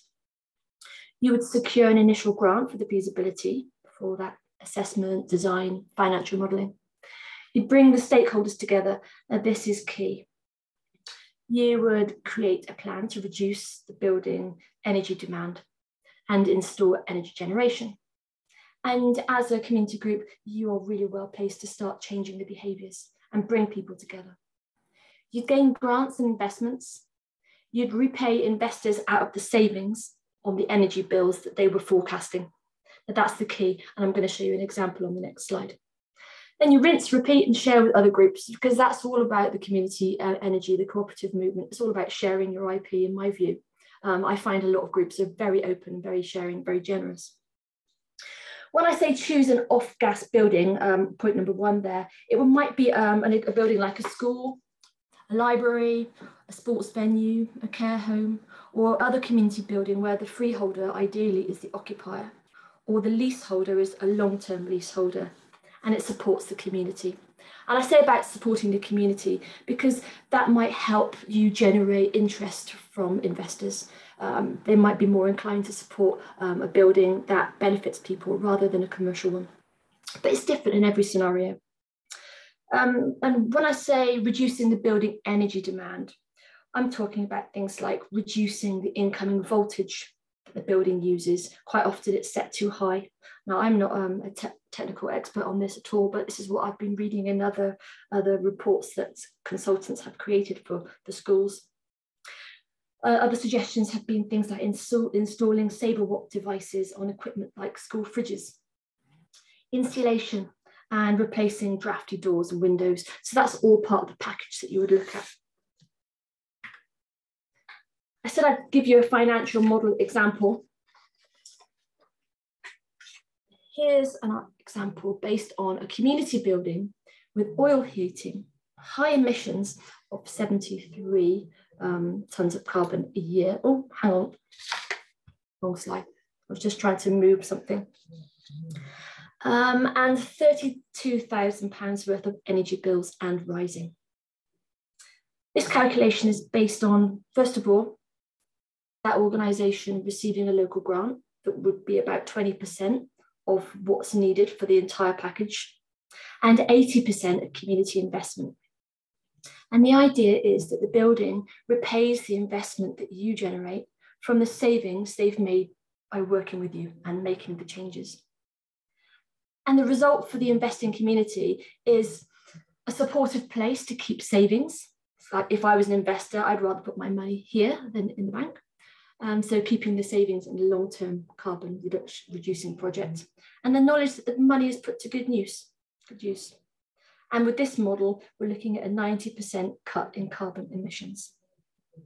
So if I take you through this example, um, the proposal of 20% grants and 80% community investment works out at saving eight tonnes of carbon a year. Energy bills reduction is £13,000 a year. The amount of investment required overall would be 300,000 on this model. Com community investment, 240,000. So that's the 80% I mentioned. The grant finance that would be needed to make this model work would be 60,000 and the energy savings per year that the, that the school or building could expect to save would be about 19,000. And the red figure you've got here is what you would need 16,000 a year would be the payback to your investors. So the annual return to the investors for them keeping their money with you. And the savings for school um, from a financial perspective are 3,000 a year. So the current carbon and energy bills on this are, are, are real for an actual example. And the other elements I've just taken you through in the table are show they show how the model could work. So the community investment is used to decarbonize the, decarbonize the site, protects the site from future cost increase, and a 90% reduction in carbon emissions. Um, the site uses the savings to repay community investment. Uh, I'm reiterating that because it's sort of a hard model to get your head around. Um, and the use of the grant up front is key because that reduces the overall project cost and the demand for community investment. So that makes the project a good value. And you can model this on different percentages of grants and community investment.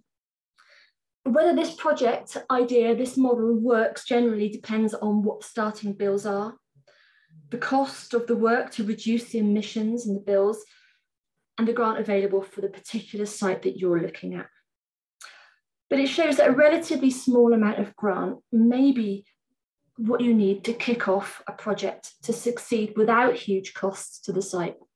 My colleague Michael has different um, examples of how this would work, but this is a sort of practice we're thinking about for projects that don't have the opportunity to work with the renewable heat incentive anymore.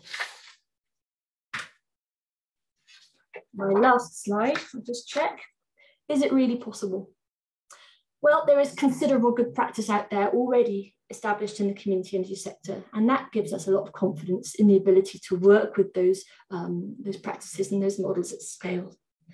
And high fuel prices and the pressure towards net zero have really created a much greater appetite to consider new finance models. Um, one of the examples that we used um, to create that model, that ex experiment with that model and that, that table was evidenced by a brilliant recent study called Developing Zero Carbon Schools by the Green Fox Community Energy Group. I really want to credit them for the work they've done. That was funded by Power to Change and supported by the Energy Systems Catapult. That was a project done in 2020, which would have had the RHI in place. But I think there's a huge amount of data and expertise that we can work with um, and the Green Fox study, to me, demonstrates the unique ability that community energy groups, so you guys, have in bringing multiple stakeholders together and changing behaviour. Because I really don't think that consultants alone can do that because there's always a, a profit making element to that. Whereas community energy groups, that, that is all put aside because we're volunteers and we're doing this to, um, to reduce carbon. So I think there really is good opportunity to navigate. So don't assume because the RHI isn't in place, you can't make change to the building that you really care about. It's on your doorstep because we're going to help you try and work through that. Thank you very much. I'll stop sharing. Thank you, Nicola. I found that very inspiring. I hope others do too. There are some questions that have been popping up in the chat box, which many of which Michael has responded to, but do keep putting questions in the chat box, particularly the one about community investment. I'm going to hand over to Nigel Roby of Wey, is it Roby or Robbie? Roby, Roby of Wey Valley Solar. And uh, Jesse, you're going to be running his slides for him, aren't you? So just bear with us while Jesse screen shares. There we are. You ready to roll, Jesse? Okay, uh, well, afternoon, everyone. Thank you for inviting us to participate. Uh, this is going to be a double header. I'm going to talk about Wey Valley Solar, what we've done, what we're working on, what we want to do. Uh, and then Kathy is going to talk about Springbok Wood Heat uh, down in Alfold. Uh, and both of these co-ops are part of the Energy for All family of renewable co-ops covering solar, wind, biomass and hydro. Uh, uh, despite the name, we don't just cover schools. Uh, this is what we've got lined up on the screen there. And kind of as, as you'd expect in this context, our approach is entirely non-profit based. Uh, all the directors of the co-ops are unpaid volunteers. So our only motivation, uh, just with MaidEnergy, just the same as Overton, is to deliver more renewable energy and to benefit the local community. So next screen, please, Jesse.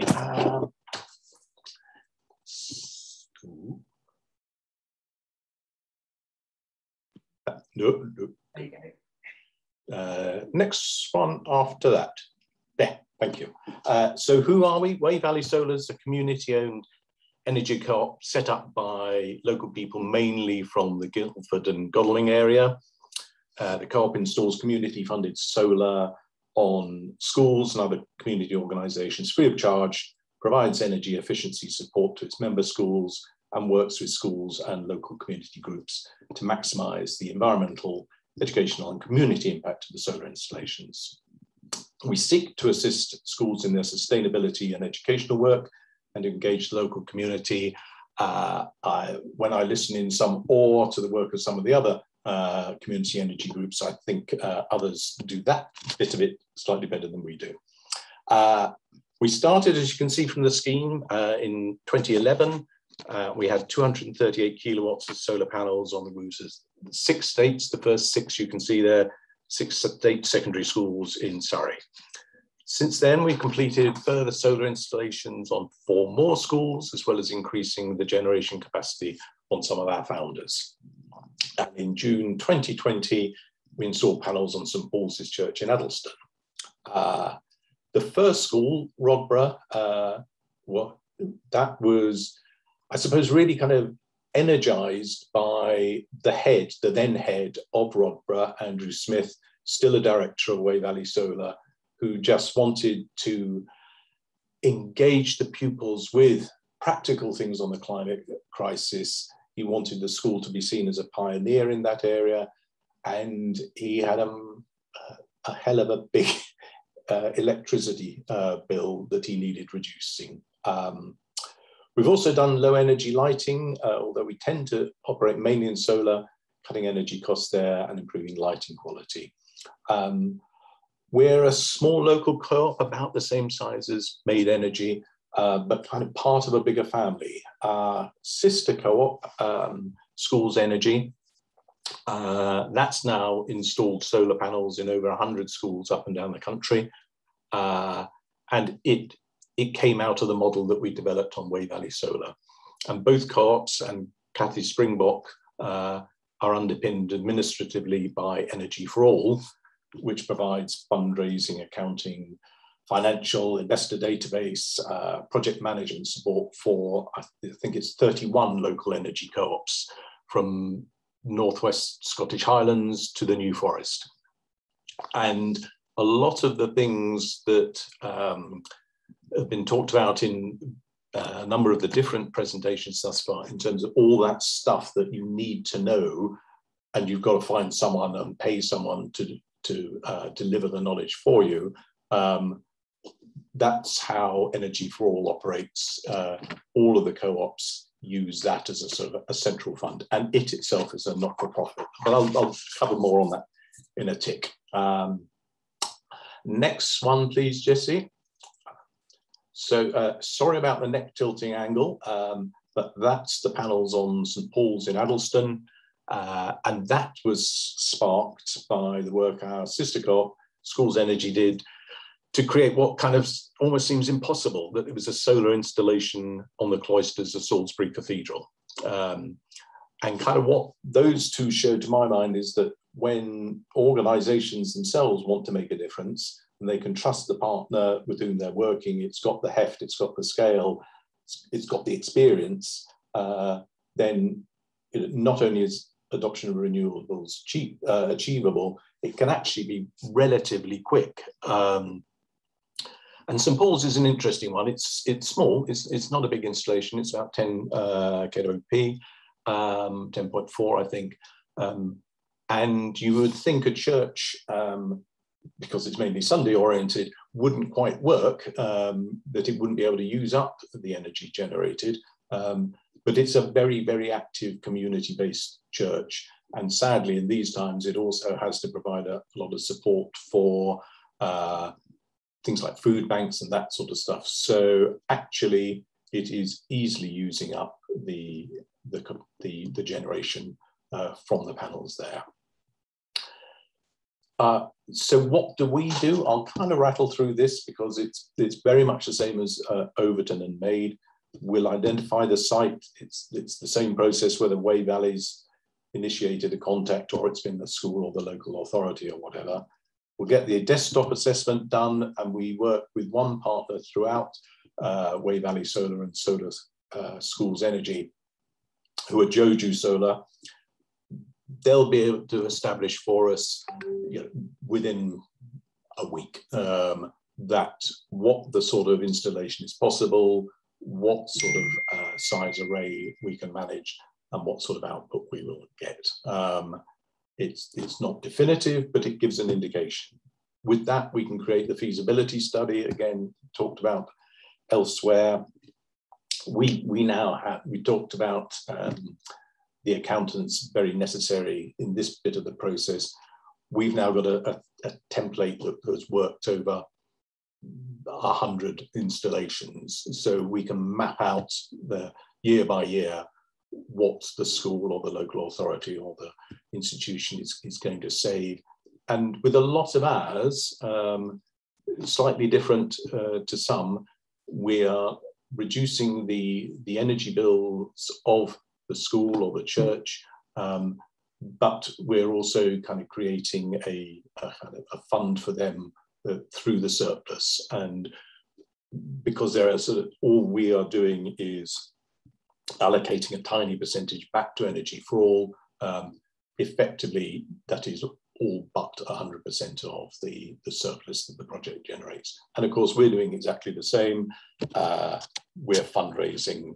Um, but before that, we'll, we'll, we'll go through the process as you'd expect with the bursar, the head of governance, whoever it is.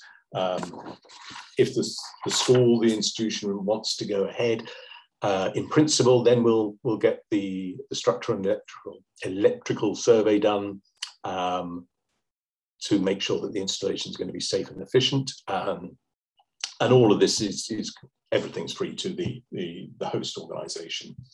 Uh, we'll then adjust the, the model, uh, see what works. Uh, at the moment, the cost of uh, panels and installation has increased quite rapidly over the last few months not particularly because of manufacture, but because of the supply chain issues that have come uh, possibly through um, a political decision, don't know. Um, uh, but that's, that's had a massive blip upwards. Um, so we've had to adjust some of our expectations on that.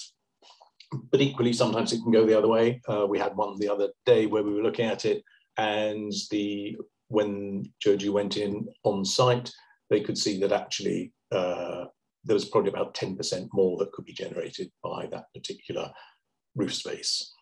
So we're going through that. Um, we're then going back to the host organization um, and you know, the model is, is the same as you would expect. Um, the, the host organization, the church, the hospice, the school is paying nothing uh, for the um, for the panels and their maintenance, and we we do that throughout. And that's if that's effectively where Energy for All come in um, because they can do the remote monitoring. If a problem emerges from that, they can see we're looking across our different uh, sites, and we've got 11 schools and the and the church. But within each school, I think uh, I think Rodborough, for example, has uh, two areas. Um, Godalming College has two areas. Um, so we look at each of the generation of those uh, um, individually each month. If we can see there's a blip, sometimes it's a nice blip. Um, sometimes it can be that um, it's operating at 70% of what we would expect it to, and then we've got to investigate. And that's probably where Energy for All uh, would say, you know, Nigel, can you pop round um, and see what the, the problem is um, with obviously the, the building manager of the, the school. So uh, that's our process. I've spoken about energy for all a, a, bit. So Jesse, if I might just get you to move on to the next screen.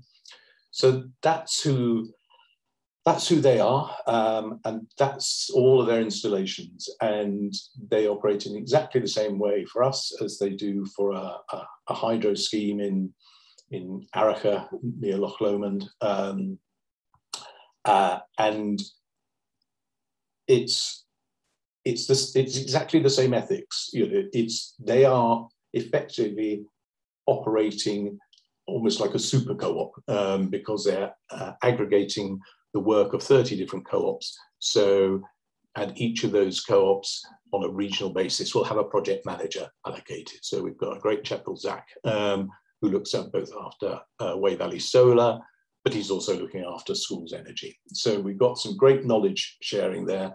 So a lot of the issues that might crop up if you're going from a standing start um, have already been cleared. Um, fundraising, for example, uh, if, if, if we want, and we do want to have another fundraising over the next few months, um, it's it's not exactly just press a button, but it's quite close. Um, so the I think the advantage is of, of having this combo of the local group and Energy for All support is that our partners, particularly when we get to larger institutions who are a little wary of, of small organizations, however much they want to work with them, is that they know that they're dealing with someone who's got who can manage at scale. Um, and they've got proof of delivery. We've done 11 projects. Schools Energy has got 100 schools. Uh, in total, the co-ops uh, underpinned by Energy for All have something like 240 projects.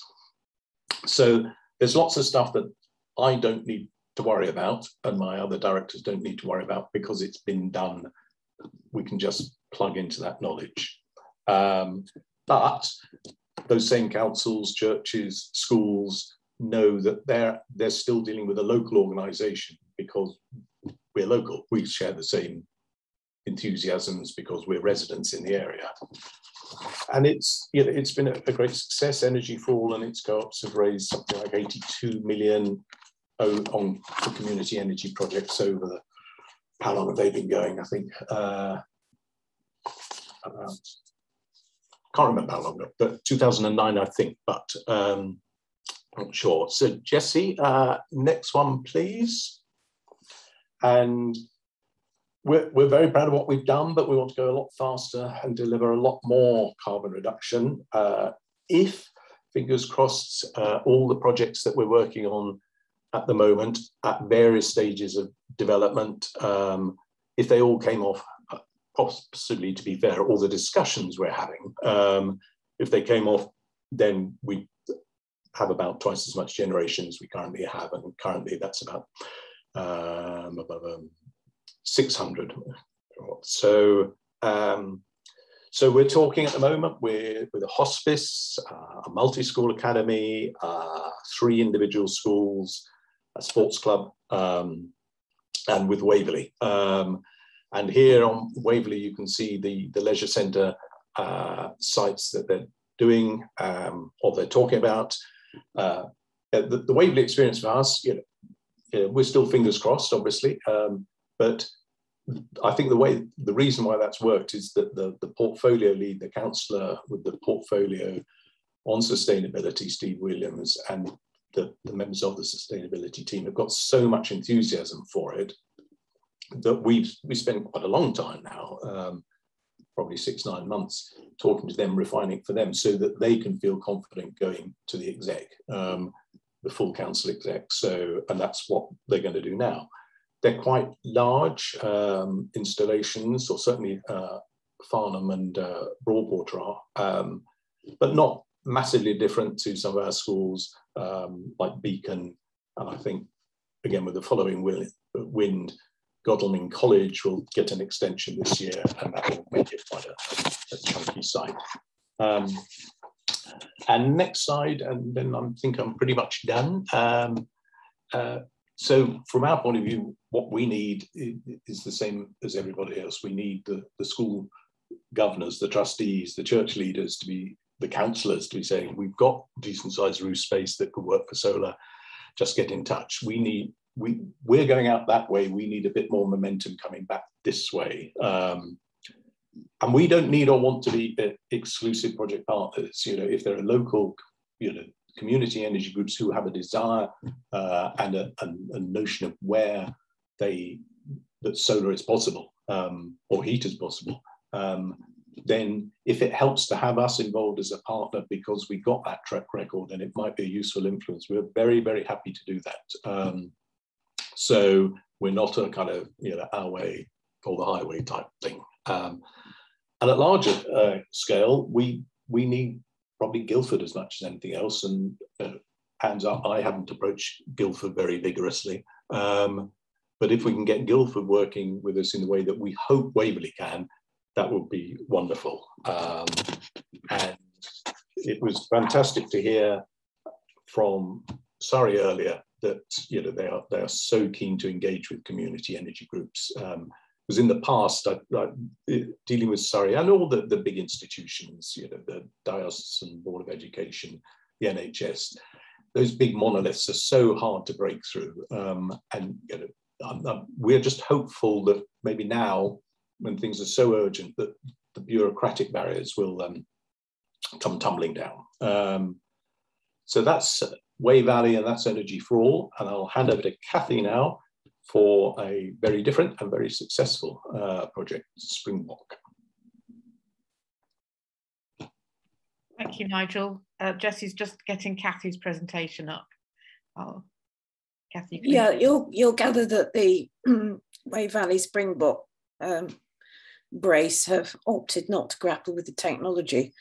Um, so we we subcontracted that.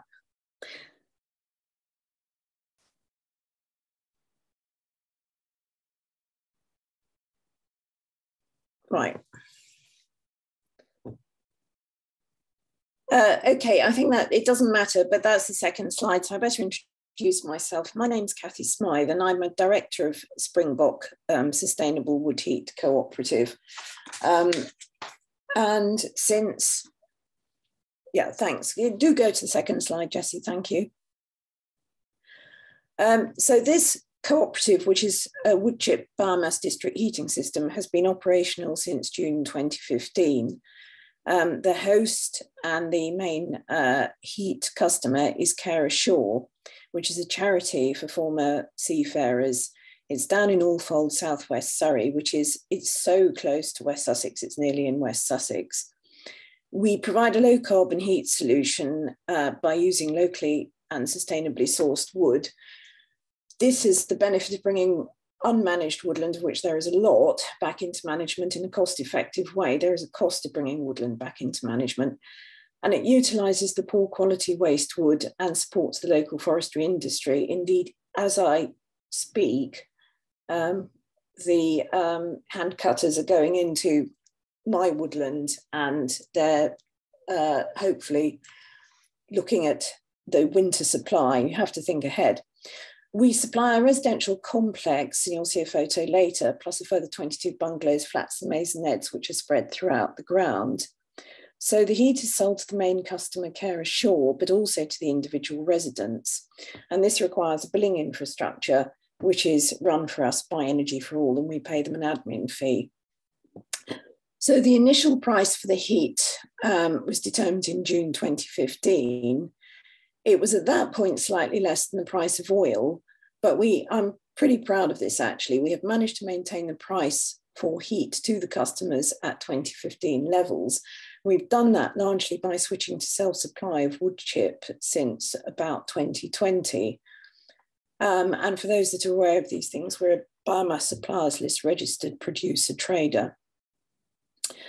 The other source of income is the renewable heat incentive at 2015 rates, but that is index linked.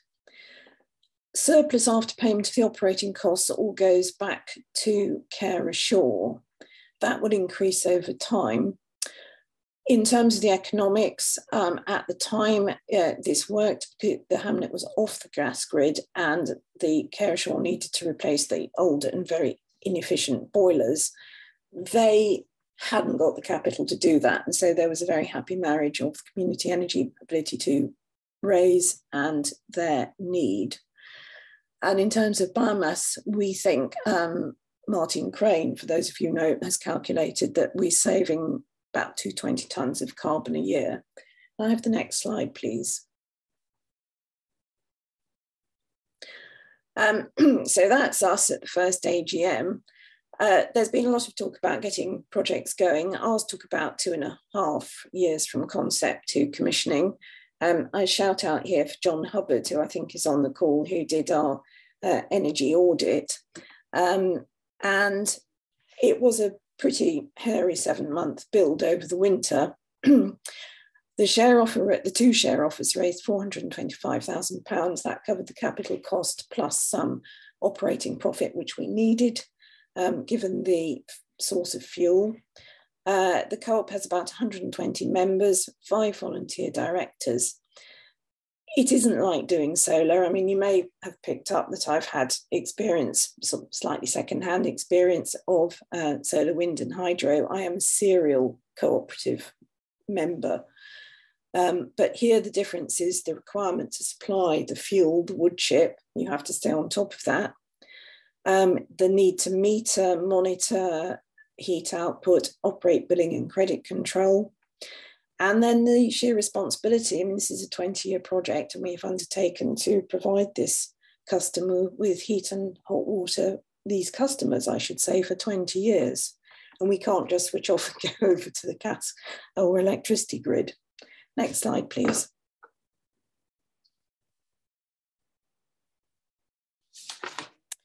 Um, right, so this is our system layout. We've got about just a fraction under half a kilometre of district heating pipe. We're running two 200 kilowatt boilers. Um, it was done that way because of the way the RHI was structured. There are two uh, oil backup boilers, which are absolutely essential because the wood chip boilers have to be switched off uh, 24 to 36 hours before maintenance, which is quarterly. And you also calculate that they, they are doing about 90% of the heat load. But if we have, say, one to two weeks of extremely cold temperatures, you um, bring the oil boilers on to top up the heating. I'll explain a bit more about that in a minute. And as I think I've said, we have produced our own wood chip um, since 2020. Just going to the pictures, um, you'll see from this we've got quite a lot of heat main, uh, particularly down to the bungalows and almshouses. So this is a less efficient in terms of um, heat losses system than the main heat load. Um, the cost that the two systems balance each other. Um, that is a, if I was doing this in person, I'd be waving a sample piece of pipe around. That's two, two cores that taking the water out and bringing the water back. And that's just a snapshot of our wood chip barn um, in the shot below. Can I have the next slide, please? Okay, so this is what we're actually supplying. On the left, we have this large Victorian pile. On the right, we have a really grotty 60s block of studio um, accommodation. That's off um, Boiler South. And then Boiler North is, is supplying these smaller and, and very spread out individual units. Um, next slide, please. And this is the actual operation. Um, when we started, we were using commercial wood chip from South East Woodfuels, who have been excellent. Um, that came in a trailer and was tipped into the underground fuel silo. That's an inside view of the silo. The fuel is moved by a series of springs and augers up to the boilers. Next slide, please. Um, so the two boilers, um, you can see the augers sort of coming up through, through the floor. Um, I've learned an awful lot about this sort of thing. I mean, it doesn't run itself. We don't do, we, because Care Ashore have got residents, um, estate staff, they deal with the fairly numerous glitches you get. Um, it's um, I don't actually know how many, but in any year, I think we get five or six periods, but it switches over to oil and it's seamless. But I mean, there's there's stuff like stuff like this is not supposed to get through a boiler, but this did turn up in one of the ash tins. How it got through, I still don't know, but I need now use that as a paperweight. Um, next slide, please. So the boilers are heating the 500 litre, each, each of those tanks contains 500 litres of water. That goes off around the site, um, pumped by the double-headed pumps you can see on the right. So it's pumping water out to um, a sort of point of entry at each building. Each building's got a different point of entry. It's got a heat exchanger. At that point, having delivered the heat, in theory, our responsibility stops and the Care Ashore system takes over. It doesn't quite work like that. It's, there's a lot more interaction between the two systems. And then in the foreground, you see the oil backup boilers. Next slide, please. Um, and then switching um, back to the ecology point, um, this is what I was talking about in terms of unmanaged woodland. This was my woodland in about 2012, 2013. This is overstood hazel coppice the it is summer. It may not look like it because there's nothing on the ground, but you can see there are leaves on the trees. But this is the problem when you've got um, this sort of overstood woodland, you get no floral fauna on the ground because there's no light. Um, I haven't actually got one of a picture of um, new flora and fauna, but if we go to the next slide, you'll, you'll start to. Um, right, this is now where we're stacking the wood. Um, I put this one in because it's a good example of showing what really low quality wood we're talking about. We can make that into chip and we can make that work. The timber industry can't generally do that. One reason we can make this work financially is because of the um, very short distance it's all moving. I mean, the uh, this is within uh, half a mile of the actual centre. Um, and um, the ecology benefits, though, we've been managing these woodlands now for butterfly management. Next slide, please. And, and it's gone better than we ever could have hoped. 2015, um, it, one of the directors is Tom Parker. Quite a few of you probably come across Tom at Repower Balcombe, and he's a butterfly enthusiast. And he said, Kathy, we think you can do great things in the woodland, and you've got this very rare butterfly down in that neck of Surrey. It's the only part of the southeast. It's called the wood white. I think we could get it from the Forestry Commission woodland next door into your wood. Um, and that was about 2015. The only butterfly we had in the woodland was um, speckled wood in 2015, and we're now up to 28 species. And as of last year, we've got the wood white, and they're breeding. Um, next slide, please. Because that was a library photo, but this is a photo of a pair of mating wood whites in Springbok, in sorry, in Park Copse, which is our woodland, by kind permission of the marvellous Neil Hulme, who um, is a uh, conservation expert with um, Butterfly Conservation Sussex branch. Thank you very much. That's it.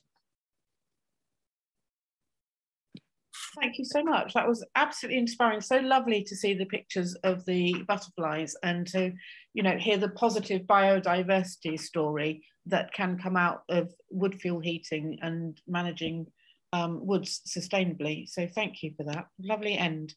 Um, how are we doing for time? I'm going to hand straight over to Nikki, Nikki Myers from OVESCO now to talk about energy saving. And I do invite people to put questions for Kathy into the chat box. Right, uh, can everyone see my screen? Great. And uh, Kathy, I used to work for Southeast Wood Fuel. So I'm glad that you were pleased with them. I didn't know that. Yes.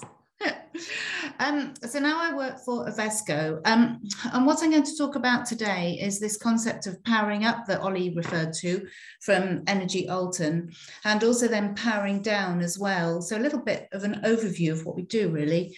Um, OVESCO has been going for 15 years, um, a community benefit company, community um, energy company.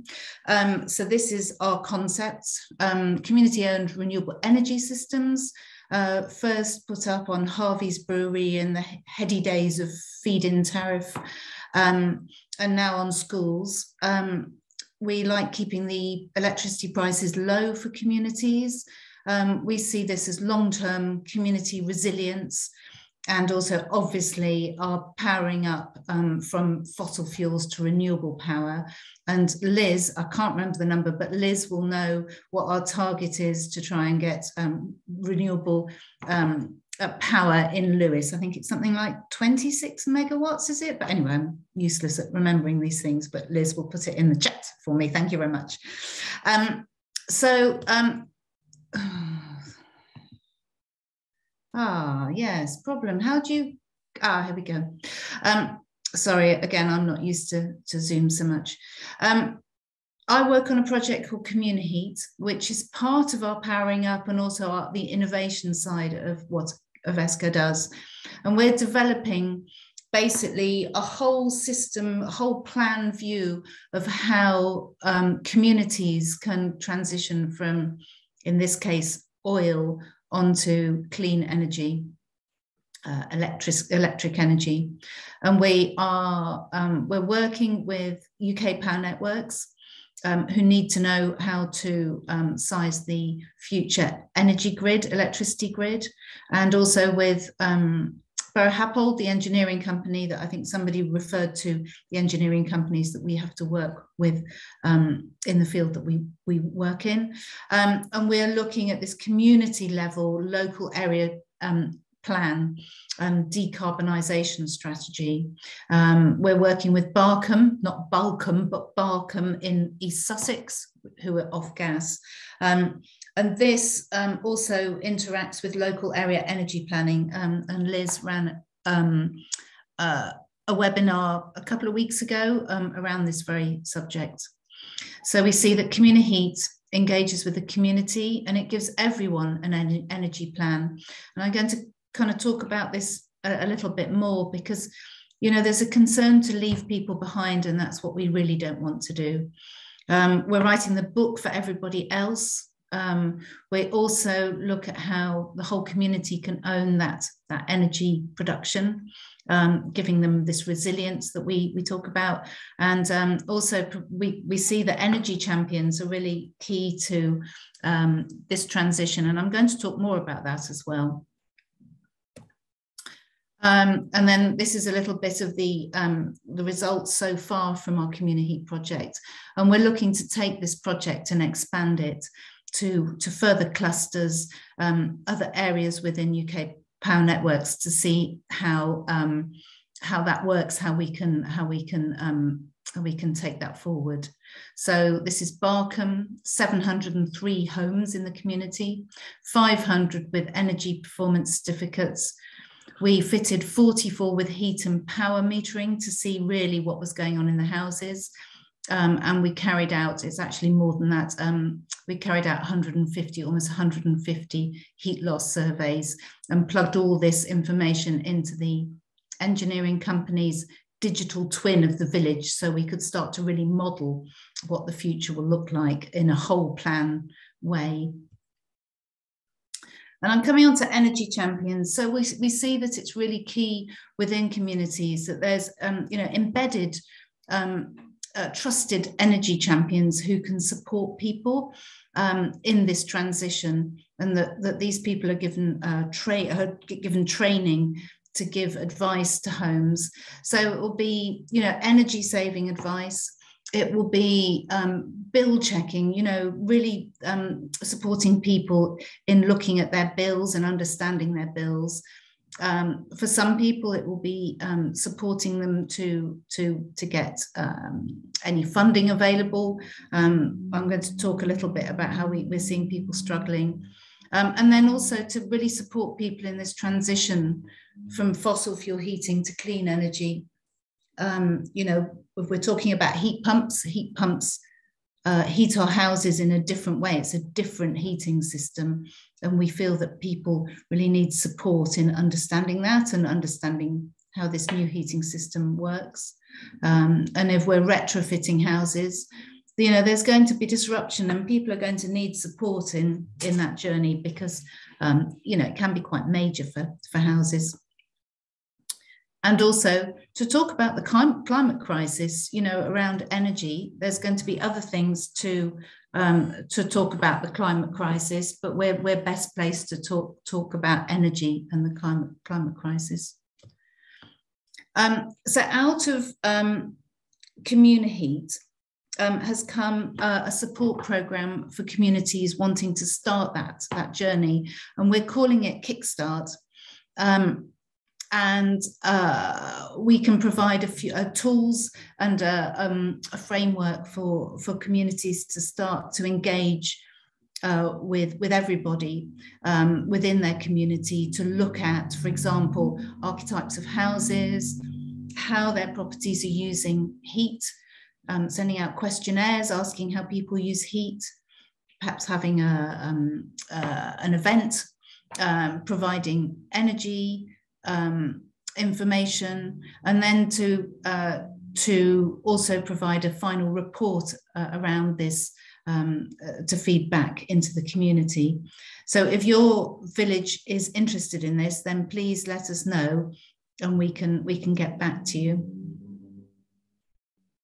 And then um, just touching on the idea of powering down, um, you know, giving back to the community, supporting our community, giving energy advice um, and bill checking. So OVESCO is being supported with uh, funding from UK Power Networks through their Power Partners um, uh, scheme. Uh, so we have funding to give energy advice to householders, not along the lines of how to retrofit your house with, you know, solid wall insulation, but more along the lines of um, you, you, know how to how to make small changes behavior changes to bring your um, to bring your um, uh, bills down. Sorry and i flipped off that. And then also we have um, funding through citizens advice for big energy saving network bill checking which in the past was more about changing to a cheaper tariff but obviously now it's just about consolidating and also helping people to access any funding that they they can um, explaining what's happening in the energy markets, explaining the, the, the funding that the government's giving to us all. Um, and already, you know, we're seeing um, we're seeing people really struggling um, uh, with the rising cost of bills. They're getting into debt. They want to know what financial support's available. So we're signposting people. We're able to signpost people to, you know, the limited support that is out there. Um, and obviously, um, we're finding things like, uh, you know, people who have chronic illness need to have a warm house. Um, finding that clients are having to stay in bed to keep warm because they can't afford to heat their houses. There are issues with houses with mold and condensation, and this is, gives health problems. Um, as I said, energy debts, you know, in the thousands, and this is even before the price rise. How can we afford to pay our bills in the in the future especially problems with people in private rented properties? Um, and also having to explain how some of the new tech works.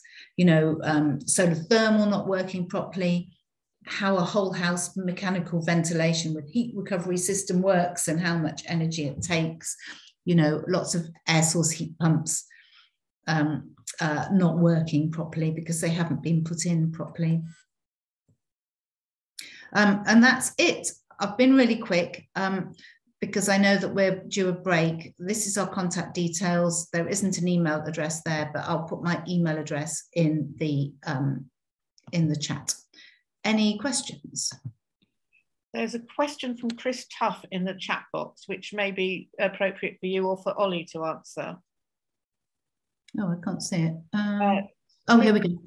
More local, who attend local community hubs. Hubs. Yes. Is that a simple yes? You do. Well, the reason I've said it, so I don't mind jumping in. The reason I've said it, all, it's all about localism. It's it about is. small getting large. Yep, that's that's my my um, idealism on it. Yeah. I am a community um, energy champion anyway. Um, I attend um, community halls, churches, mining groups, yeah. um, where they've got their, their um, social events. Um, and it seems that people are still very unaware on how to um, reduce energy bills. I'm not talking about having a cup of water going into a kettle, which is what is happening now, how people are doing it, but it's more um, uh, giving the advice and reassurance to people on how to do it by um, initiating uh, a home visit to see how they can do it without retrofitting initially, because people listen on how they could do the small things without any great expense. And there does seem to be a lack. Oh, sorry. Sorry, Liz. Well, I just want to interrupt for a moment because I'm very conscious that we've gone over time a bit. That you're you were raising something that we debate a lot in OVESCO. Yes. Um, you're, you're so you're raising a very hot issue, uh, but I'm also conscious that we we've gone over time and people might want to get lunch before they come back for the session on seed funding.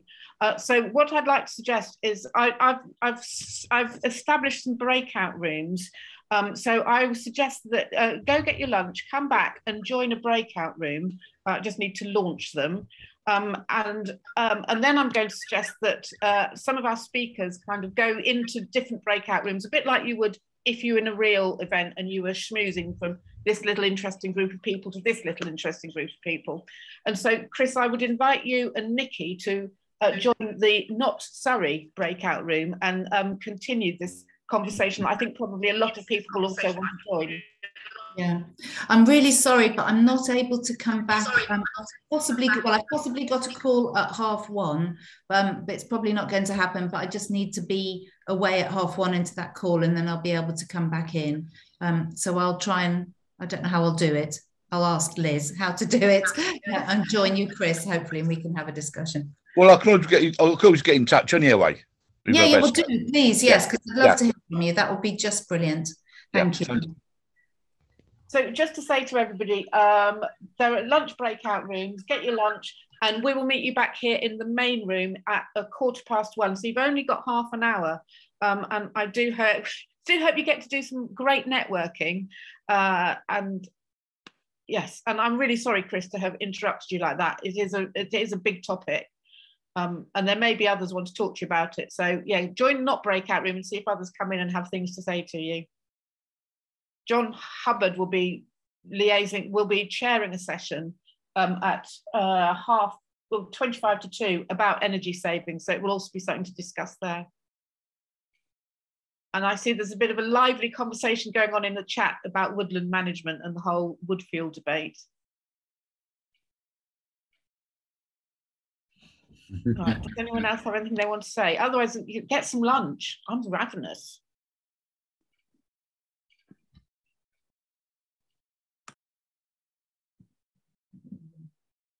I'll just mute myself. For those of welcome back, everyone. Um, I'm delighted to say we've got Patrick Culligan from uh, Surrey County Council, who's going to talk about the Your Fund Surrey uh, and um, funds available for initial groups.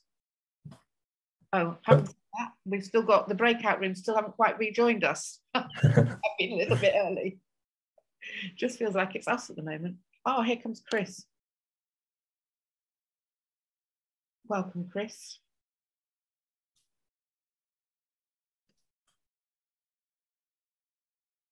Okay, welcome back, everybody. Um,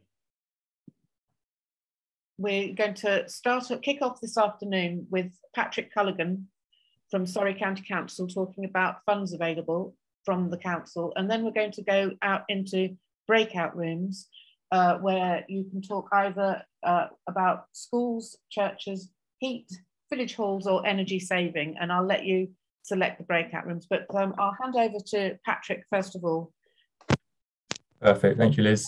Um, welcome, everyone. Thank you for having me today. Um, looking forward to uh, having a conversation about, about Your Fund Surrey. Um, in terms of, for those that don't know what Your Fund Surrey is, um, it's Surrey County Council's sort of flagship community grant program um, based around capital funding projects. So it's all about, I'll, I'll, go through sort of the vision, the principles, the links, links to climate change, um, the steps to success, which is essentially our sort of application process. And then hopefully we'll have some good, you know, 10 minutes or so to a little bit of a Q&A if you do ask any questions of me. Um, that's key today, really.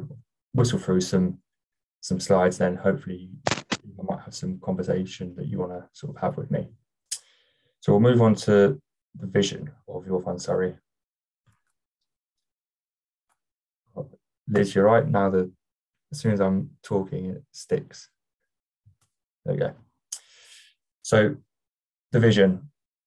Now, what your fund Surrey is all about is bringing community-led placemaking projects to life, which have a focus on bringing together a, the wider community, which to us means making sure that there's the whatever pro, whatever the project is that comes forward, it's not servicing just one or, or two individuals or groups. It's creating a community asset really that that is multifaceted and could leave a, a real legacy for you know 25 30 50 years in the future so that so that it, you know that asset and, whatever that project is has a real impact there's up to 100 million of capital funding available over a five year period so we're we're in we've just passed our first year um, that's not to say that we have to spend 100 million that's just what what's been been budgeted so you know we're not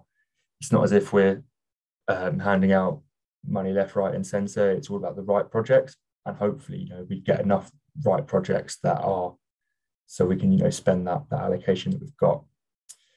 In terms of um, what we're closely aligned to and, and how we select and, and um, what we look for in a project is we look for it to be projects to be closely aligned to the community vision for Surrey for 2030, which is a Surrey vision strategy essentially, which um, details sort of 10 ambitions that, that, the council has for Surrey to be by 2030. I'll, I'll, go into a couple of them in a bit more detail in, in a minute.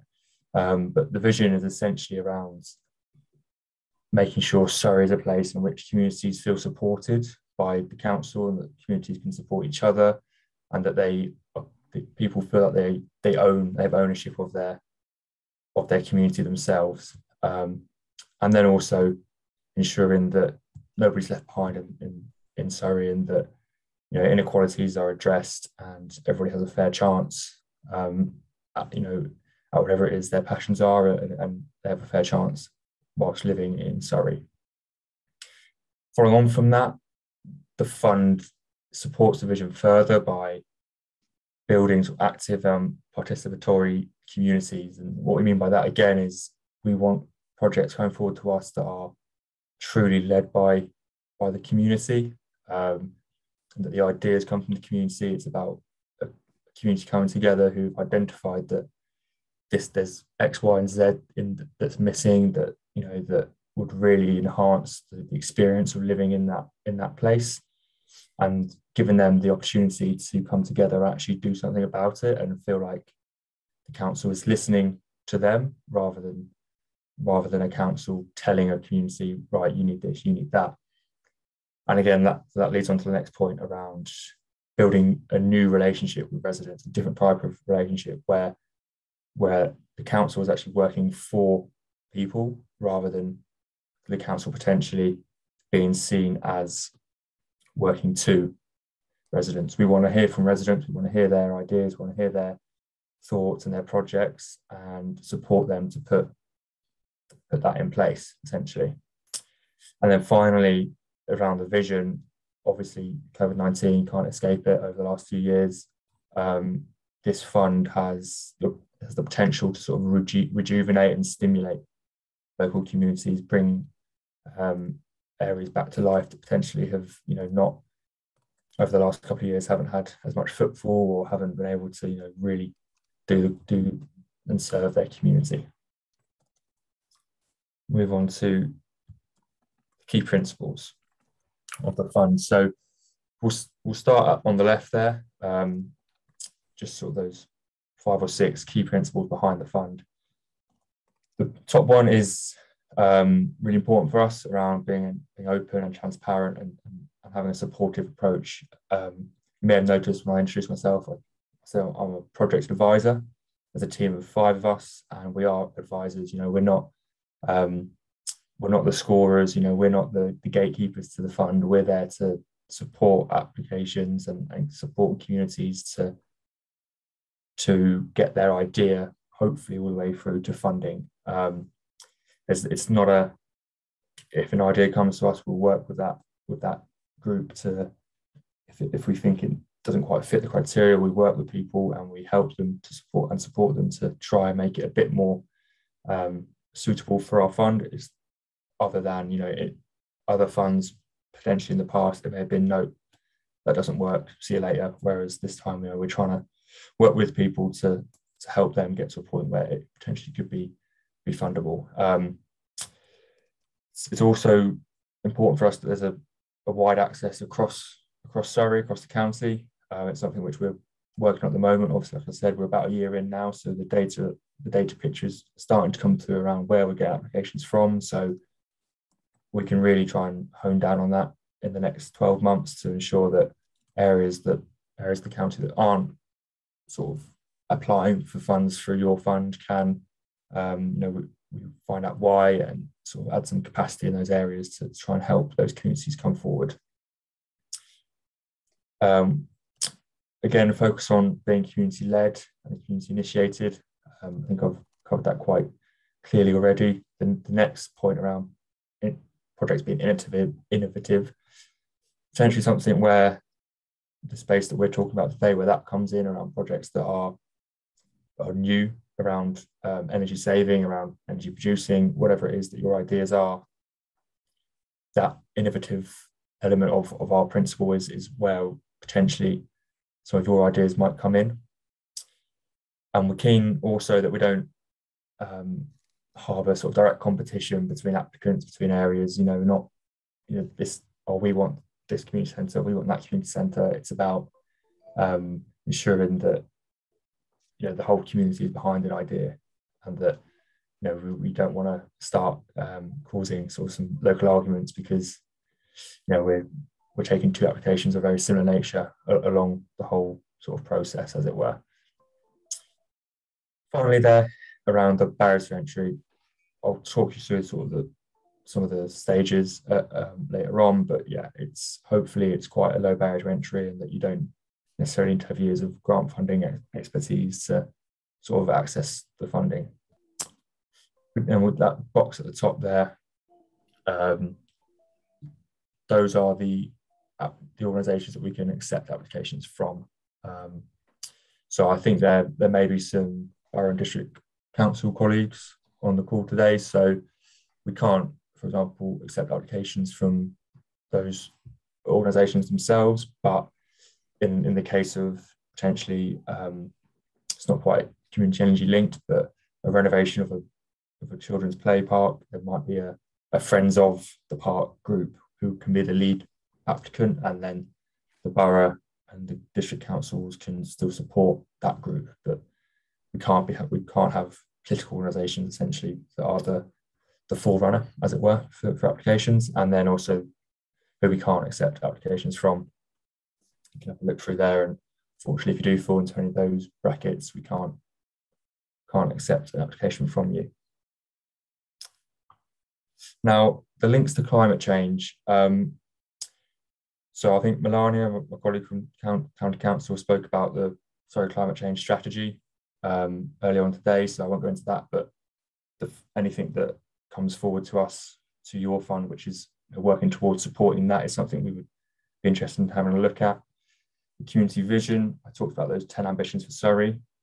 Two of them are there, and you can see how those visions can link well with um, community energy and you know the green agenda. It, it says that they're green communities, environmental responsibilities, um, and sustainable growth as well, which is is key for us.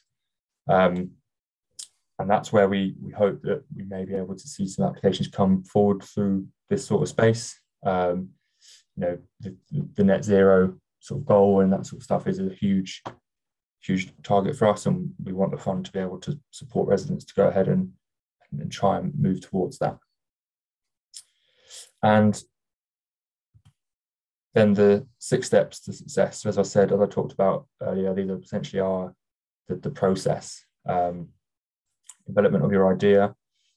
We have an interactive map on one of our on our website where you can pin your idea and you can start to gain community support the idea submission is almost like an expression of interest, like your first submission. We work with you then to thrash out your idea. Um, hopefully, then put in a full submission. It'll go through assessment to a panel for shortlisting, and then hopefully award of funding. Um, won't go through this in too much detail, obviously, because time constraints, etc. But just so you can see, you know, what it looks like from from the outset, I guess. Um, and we're more than happy to have conversations with applicants at any point um, through these through these six steps, um, one-to-ones, half an hour conversations to help support you through whichever stage it is that you might be at. And thankfully, I think we've got about five minutes now as well. Hopefully that gives you a sort of whistle-stop tour of, of your fund and what we're here to do and how we can potentially link with conversations being had today. Um, and I'm, I'm open for questions. If anyone's got any ideas, any thoughts they want to run past me, any questions, then please do raise your hand and and we can go from there or put a put a question in the chat potentially. Great, um, thanks so much, Patrick. Great. Um, actually, the way we do it is a little bit more anarchic. We just invite people to unmute themselves and throw Go for it. at you. Go for it be curious to see if there are questions. Who? Oh, John Hubbard has his hand up. So John, do un unmute yourself. Does he have his hand up? Oh, okay. Yes. That was a mistake, actually. Hi, Patrick. Can I ask you something? Hi, yeah, of course. I've just private messaged you, actually. Um, I, I work with surplus food and mm-hmm. um, mm -hmm. I'm we've been feeding the community during lockdown mm-hmm. and we've had quite a lot of funding from the community, etc. I was the poster girl for GoFund Surrey saying, think big. So we're working with Fair Share, which is uh, a countrywide charity. You mustn't, I'm sure you've heard of it. They want three million to get a depot in the Guildford area. To, mm-hmm. to they're passionate about food waste, and yeah. they are encountering and I know you won't be able to answer this, but a lot of people, a lot of um, small groups have had their funding. They're encountering problems, and I wondered whether you could shed any light on that. That it's just the council's just not making a decision. It's just not making a decision for them. Yeah, I, I'm, I'm aware of their application, and oh, I'm, oh, okay. I'm, I'm aware that it's um, in terms of the conversations they're having with the council around their York application are probably two or three steps above above my pay grade in terms okay. of who they're meeting with, and I think there is a conversation coming up fairly soon okay. um, between Fair Share and powers that be within the council. Um, I unfortunately don't know anything else on that specifically, um, but it's I think the, the larger applications, the big applications, the million pound, three million pound, as you said. Um, obviously, this is still public money, and so we are yeah there does have to be a lot of sort of due diligence and um, it, it can be, I, I guess it could be frustrating um, and it is frustrating for, for applicants or who are coming in for those big amounts. Um, but there, there is a process that as a council that has to be followed. Um, and yeah, that one is in hand. I, I don't know.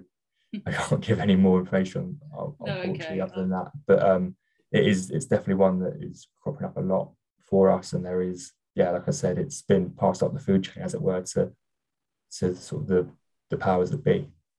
Yeah.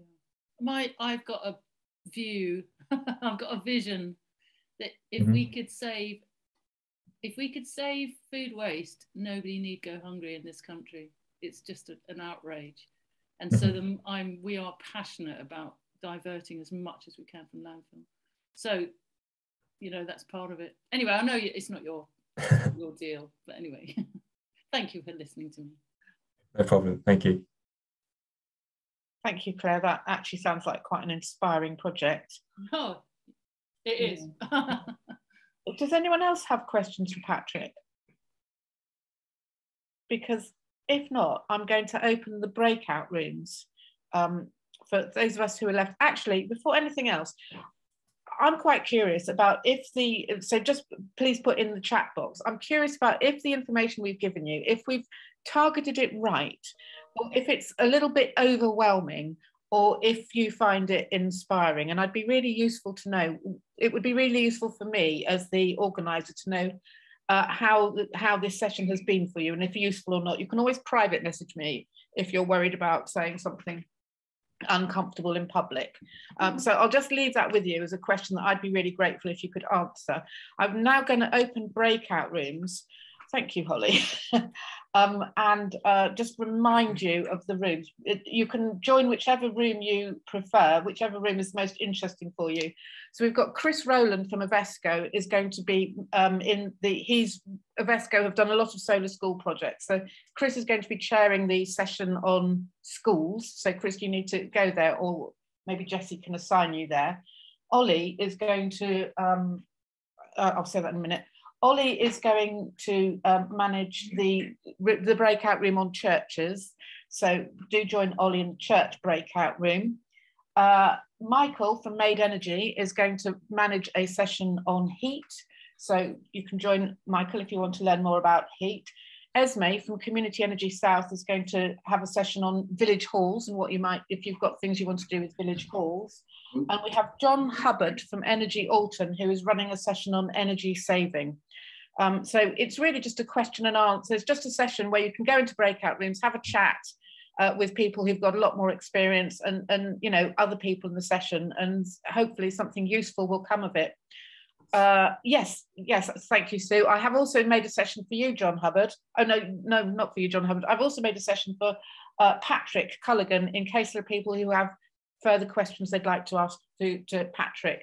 So um, I'm going to, if you can't assign yourself to the breakout room you want to go to, just unmute yourself and let me know. Uh, How long have we got, Liz? We've got what, 20 got, minutes in the breakout yeah, you've got till five to two, and then we're going to reconvene at five to two and just close.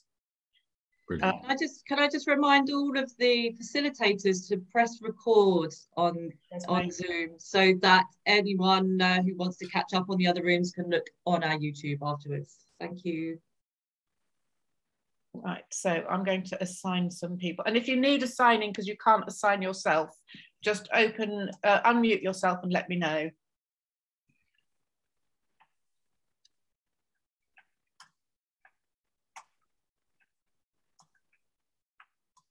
Uh, I need, Ollie, do you need to be assigned? No, I've worked it out, thanks. Okay. Uh, Esme's joined, John Hubbard has joined his, great. Uh, Chris has joined his. yeah, thank you, Jesse. Right, so the people who are still sitting here, it might be that you um, don't know how to assign yourself, or maybe you just are a bit tired. yeah, or maybe you're you're just uh, you know a little bit remote now. Uh, but I'll, um, So Kathy, I can see you there. Would you like to join the heat session and would you like me to allocate you there? I'm not sure. um, because not Nigel's had to go. Yeah. Um, well, I'll let you think while I ask other people who are still here if they need help. So, uh, Richard Ellis, do you need to be allocated somewhere Yeah. or I it? didn't, I didn't know you could allocate yourself to uh, a room. How do you do that then? Uh, oh gosh, because I can. I, do you know what? I can't tell you, but, but Oh, I right. can assign you. I can't tell you because I, I see it different different things from what you see. Oh, okay. It's probably on more, but uh, if you tell me where you want to go, I can send you there. Uh, so what, what are the um, what are the options? again? Schools, churches, heat, village halls, energy saving, or your fund Surrey. I think the um, the schools and churches. Okay, I'll send you to schools. You can always come back Yep. and tell me you want to go to churches. Uh, right, and Sue, would you like me to assign? Would, uh, you should any minute now. I imagine Richard's going to disappear. Sue, would you like me to send you anywhere? Yes. Can I go to John Hubbard? Yes, of course. Thanks ever so much. Okay, right. Um, Diana Jones, would you like me to send you anywhere? No. Okay. Uh, Uh, Swapna, would you like me to send you anywhere? It's a bit difficult when the videos and she's in schools. content one. no, she's not joined. Oh. Um, okay. Right, so let's ask these other people. They they may just have, you know, be having lunch. Um, Dick Thomas, do you want me to send you anywhere? No, it's okay. I'm I'm just uh, just trying to decide at the moment. Oh, okay, lovely, thank you. And Sheila Goldsmith, do you need help? You seem to be here twice, which is very clever of you. I imagine you might be in a phone or something, or, or, you know. No, okay, let's see if Sheila's said anything. Right.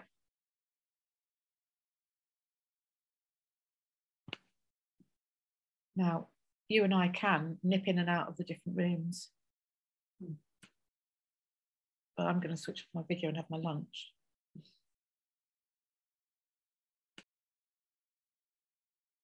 Someone else did.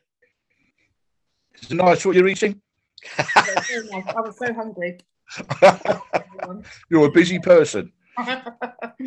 um, we're supposed to be just wrapping up, wrapping up, but I wonder if um, I'm only you can't have more than one minute each. But if each chair would just feed back in less than a minute how the session was, and then we can say our goodbyes. Um, so I'll start with uh, whoever I can see. Should we start with John Hubbard? Okay, uh, I think our focus really was on a small group starting up. What's the thing? What's the best thing to do in terms of uh, how to get people involved, and given the needs uh, with high fuel prices, etc., what's best to do? Uh, and we talked through that, and I think that would be a good um, subject for CES to give a, a bit of a um, a template that would be useful, I think, for many groups to look at.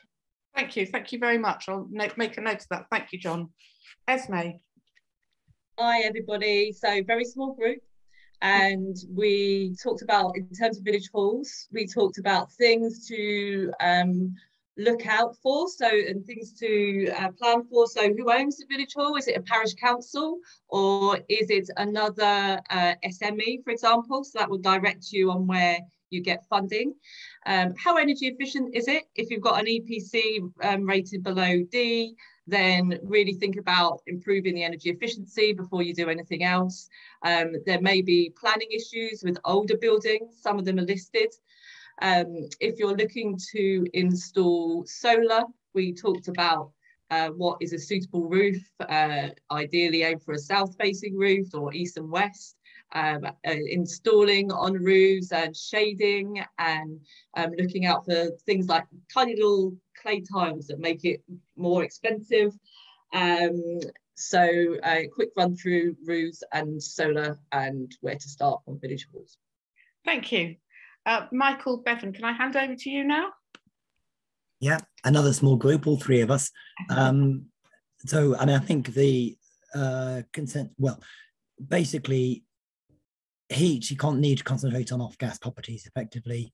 Um, the biomass is quite complicated, um, and heat networks are complicated. But um, maybe air source heat, heat pumps on uh, combined with solar and insulation on on off gas is actually is doable, and probably the best thing to do is just get on and do it. Great, thank you, Michael. Chris. Um, uh, small group, four of us. Uh, we talked about King's Academy Ringmer's being a Ashden Award winner, which is a very good example of what schools can achieve. Uh, we talked about the differences between local authorities, uh, Diocese of Chichester, Catholic schools, uh, academies, trusts, leases and licenses, and then talked a bit about products um, like the Bauder roof system, um, the SolarEdge, uh, different, you know, looking out for things on flat roofs and how long um, the roof has been there and opportunities when a roof is going to be replaced and scaffolding going up and a new roof membrane going on. Perhaps that's a good chance to install solar and aggregating projects because if you're going to do this as one-off project and lots of volunteers are going to look after it for the next 20 years, or are you going to actually employ someone to look after these and aggregate uh, 20, 30 projects or whatever it takes to make that work? Thank you. Thank you, Chris. And finally, last but not at all least, of course, Ollie. Wonderful. Um, so I was on the churches group with, um, so just a small group of four of us, but very focused. And um, so thank you very much, Grace and Cortha. So um, yeah, we had a, we've realised that there is a, um, the Diocese of Guildford have got quite a strong group and we know them all between us.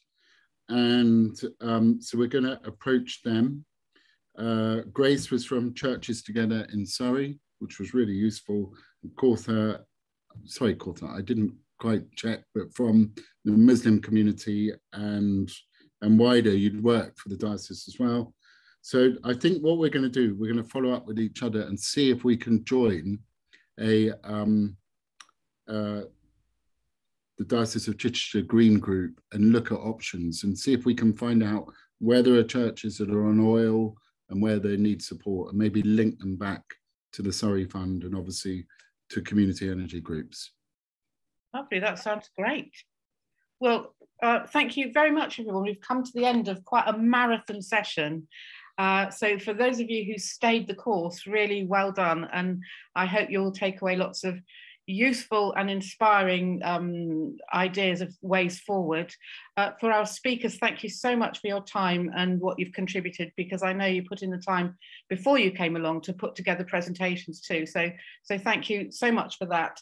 Um, now, I just wanted to check, check if Esme or Ollie would like to say anything. And I just want to say a big thank you. Just to say, what a fantastic session. Well done, everybody that spoke, and really great connecting with you all. And we're looking forward to, to offering you more support in Surrey.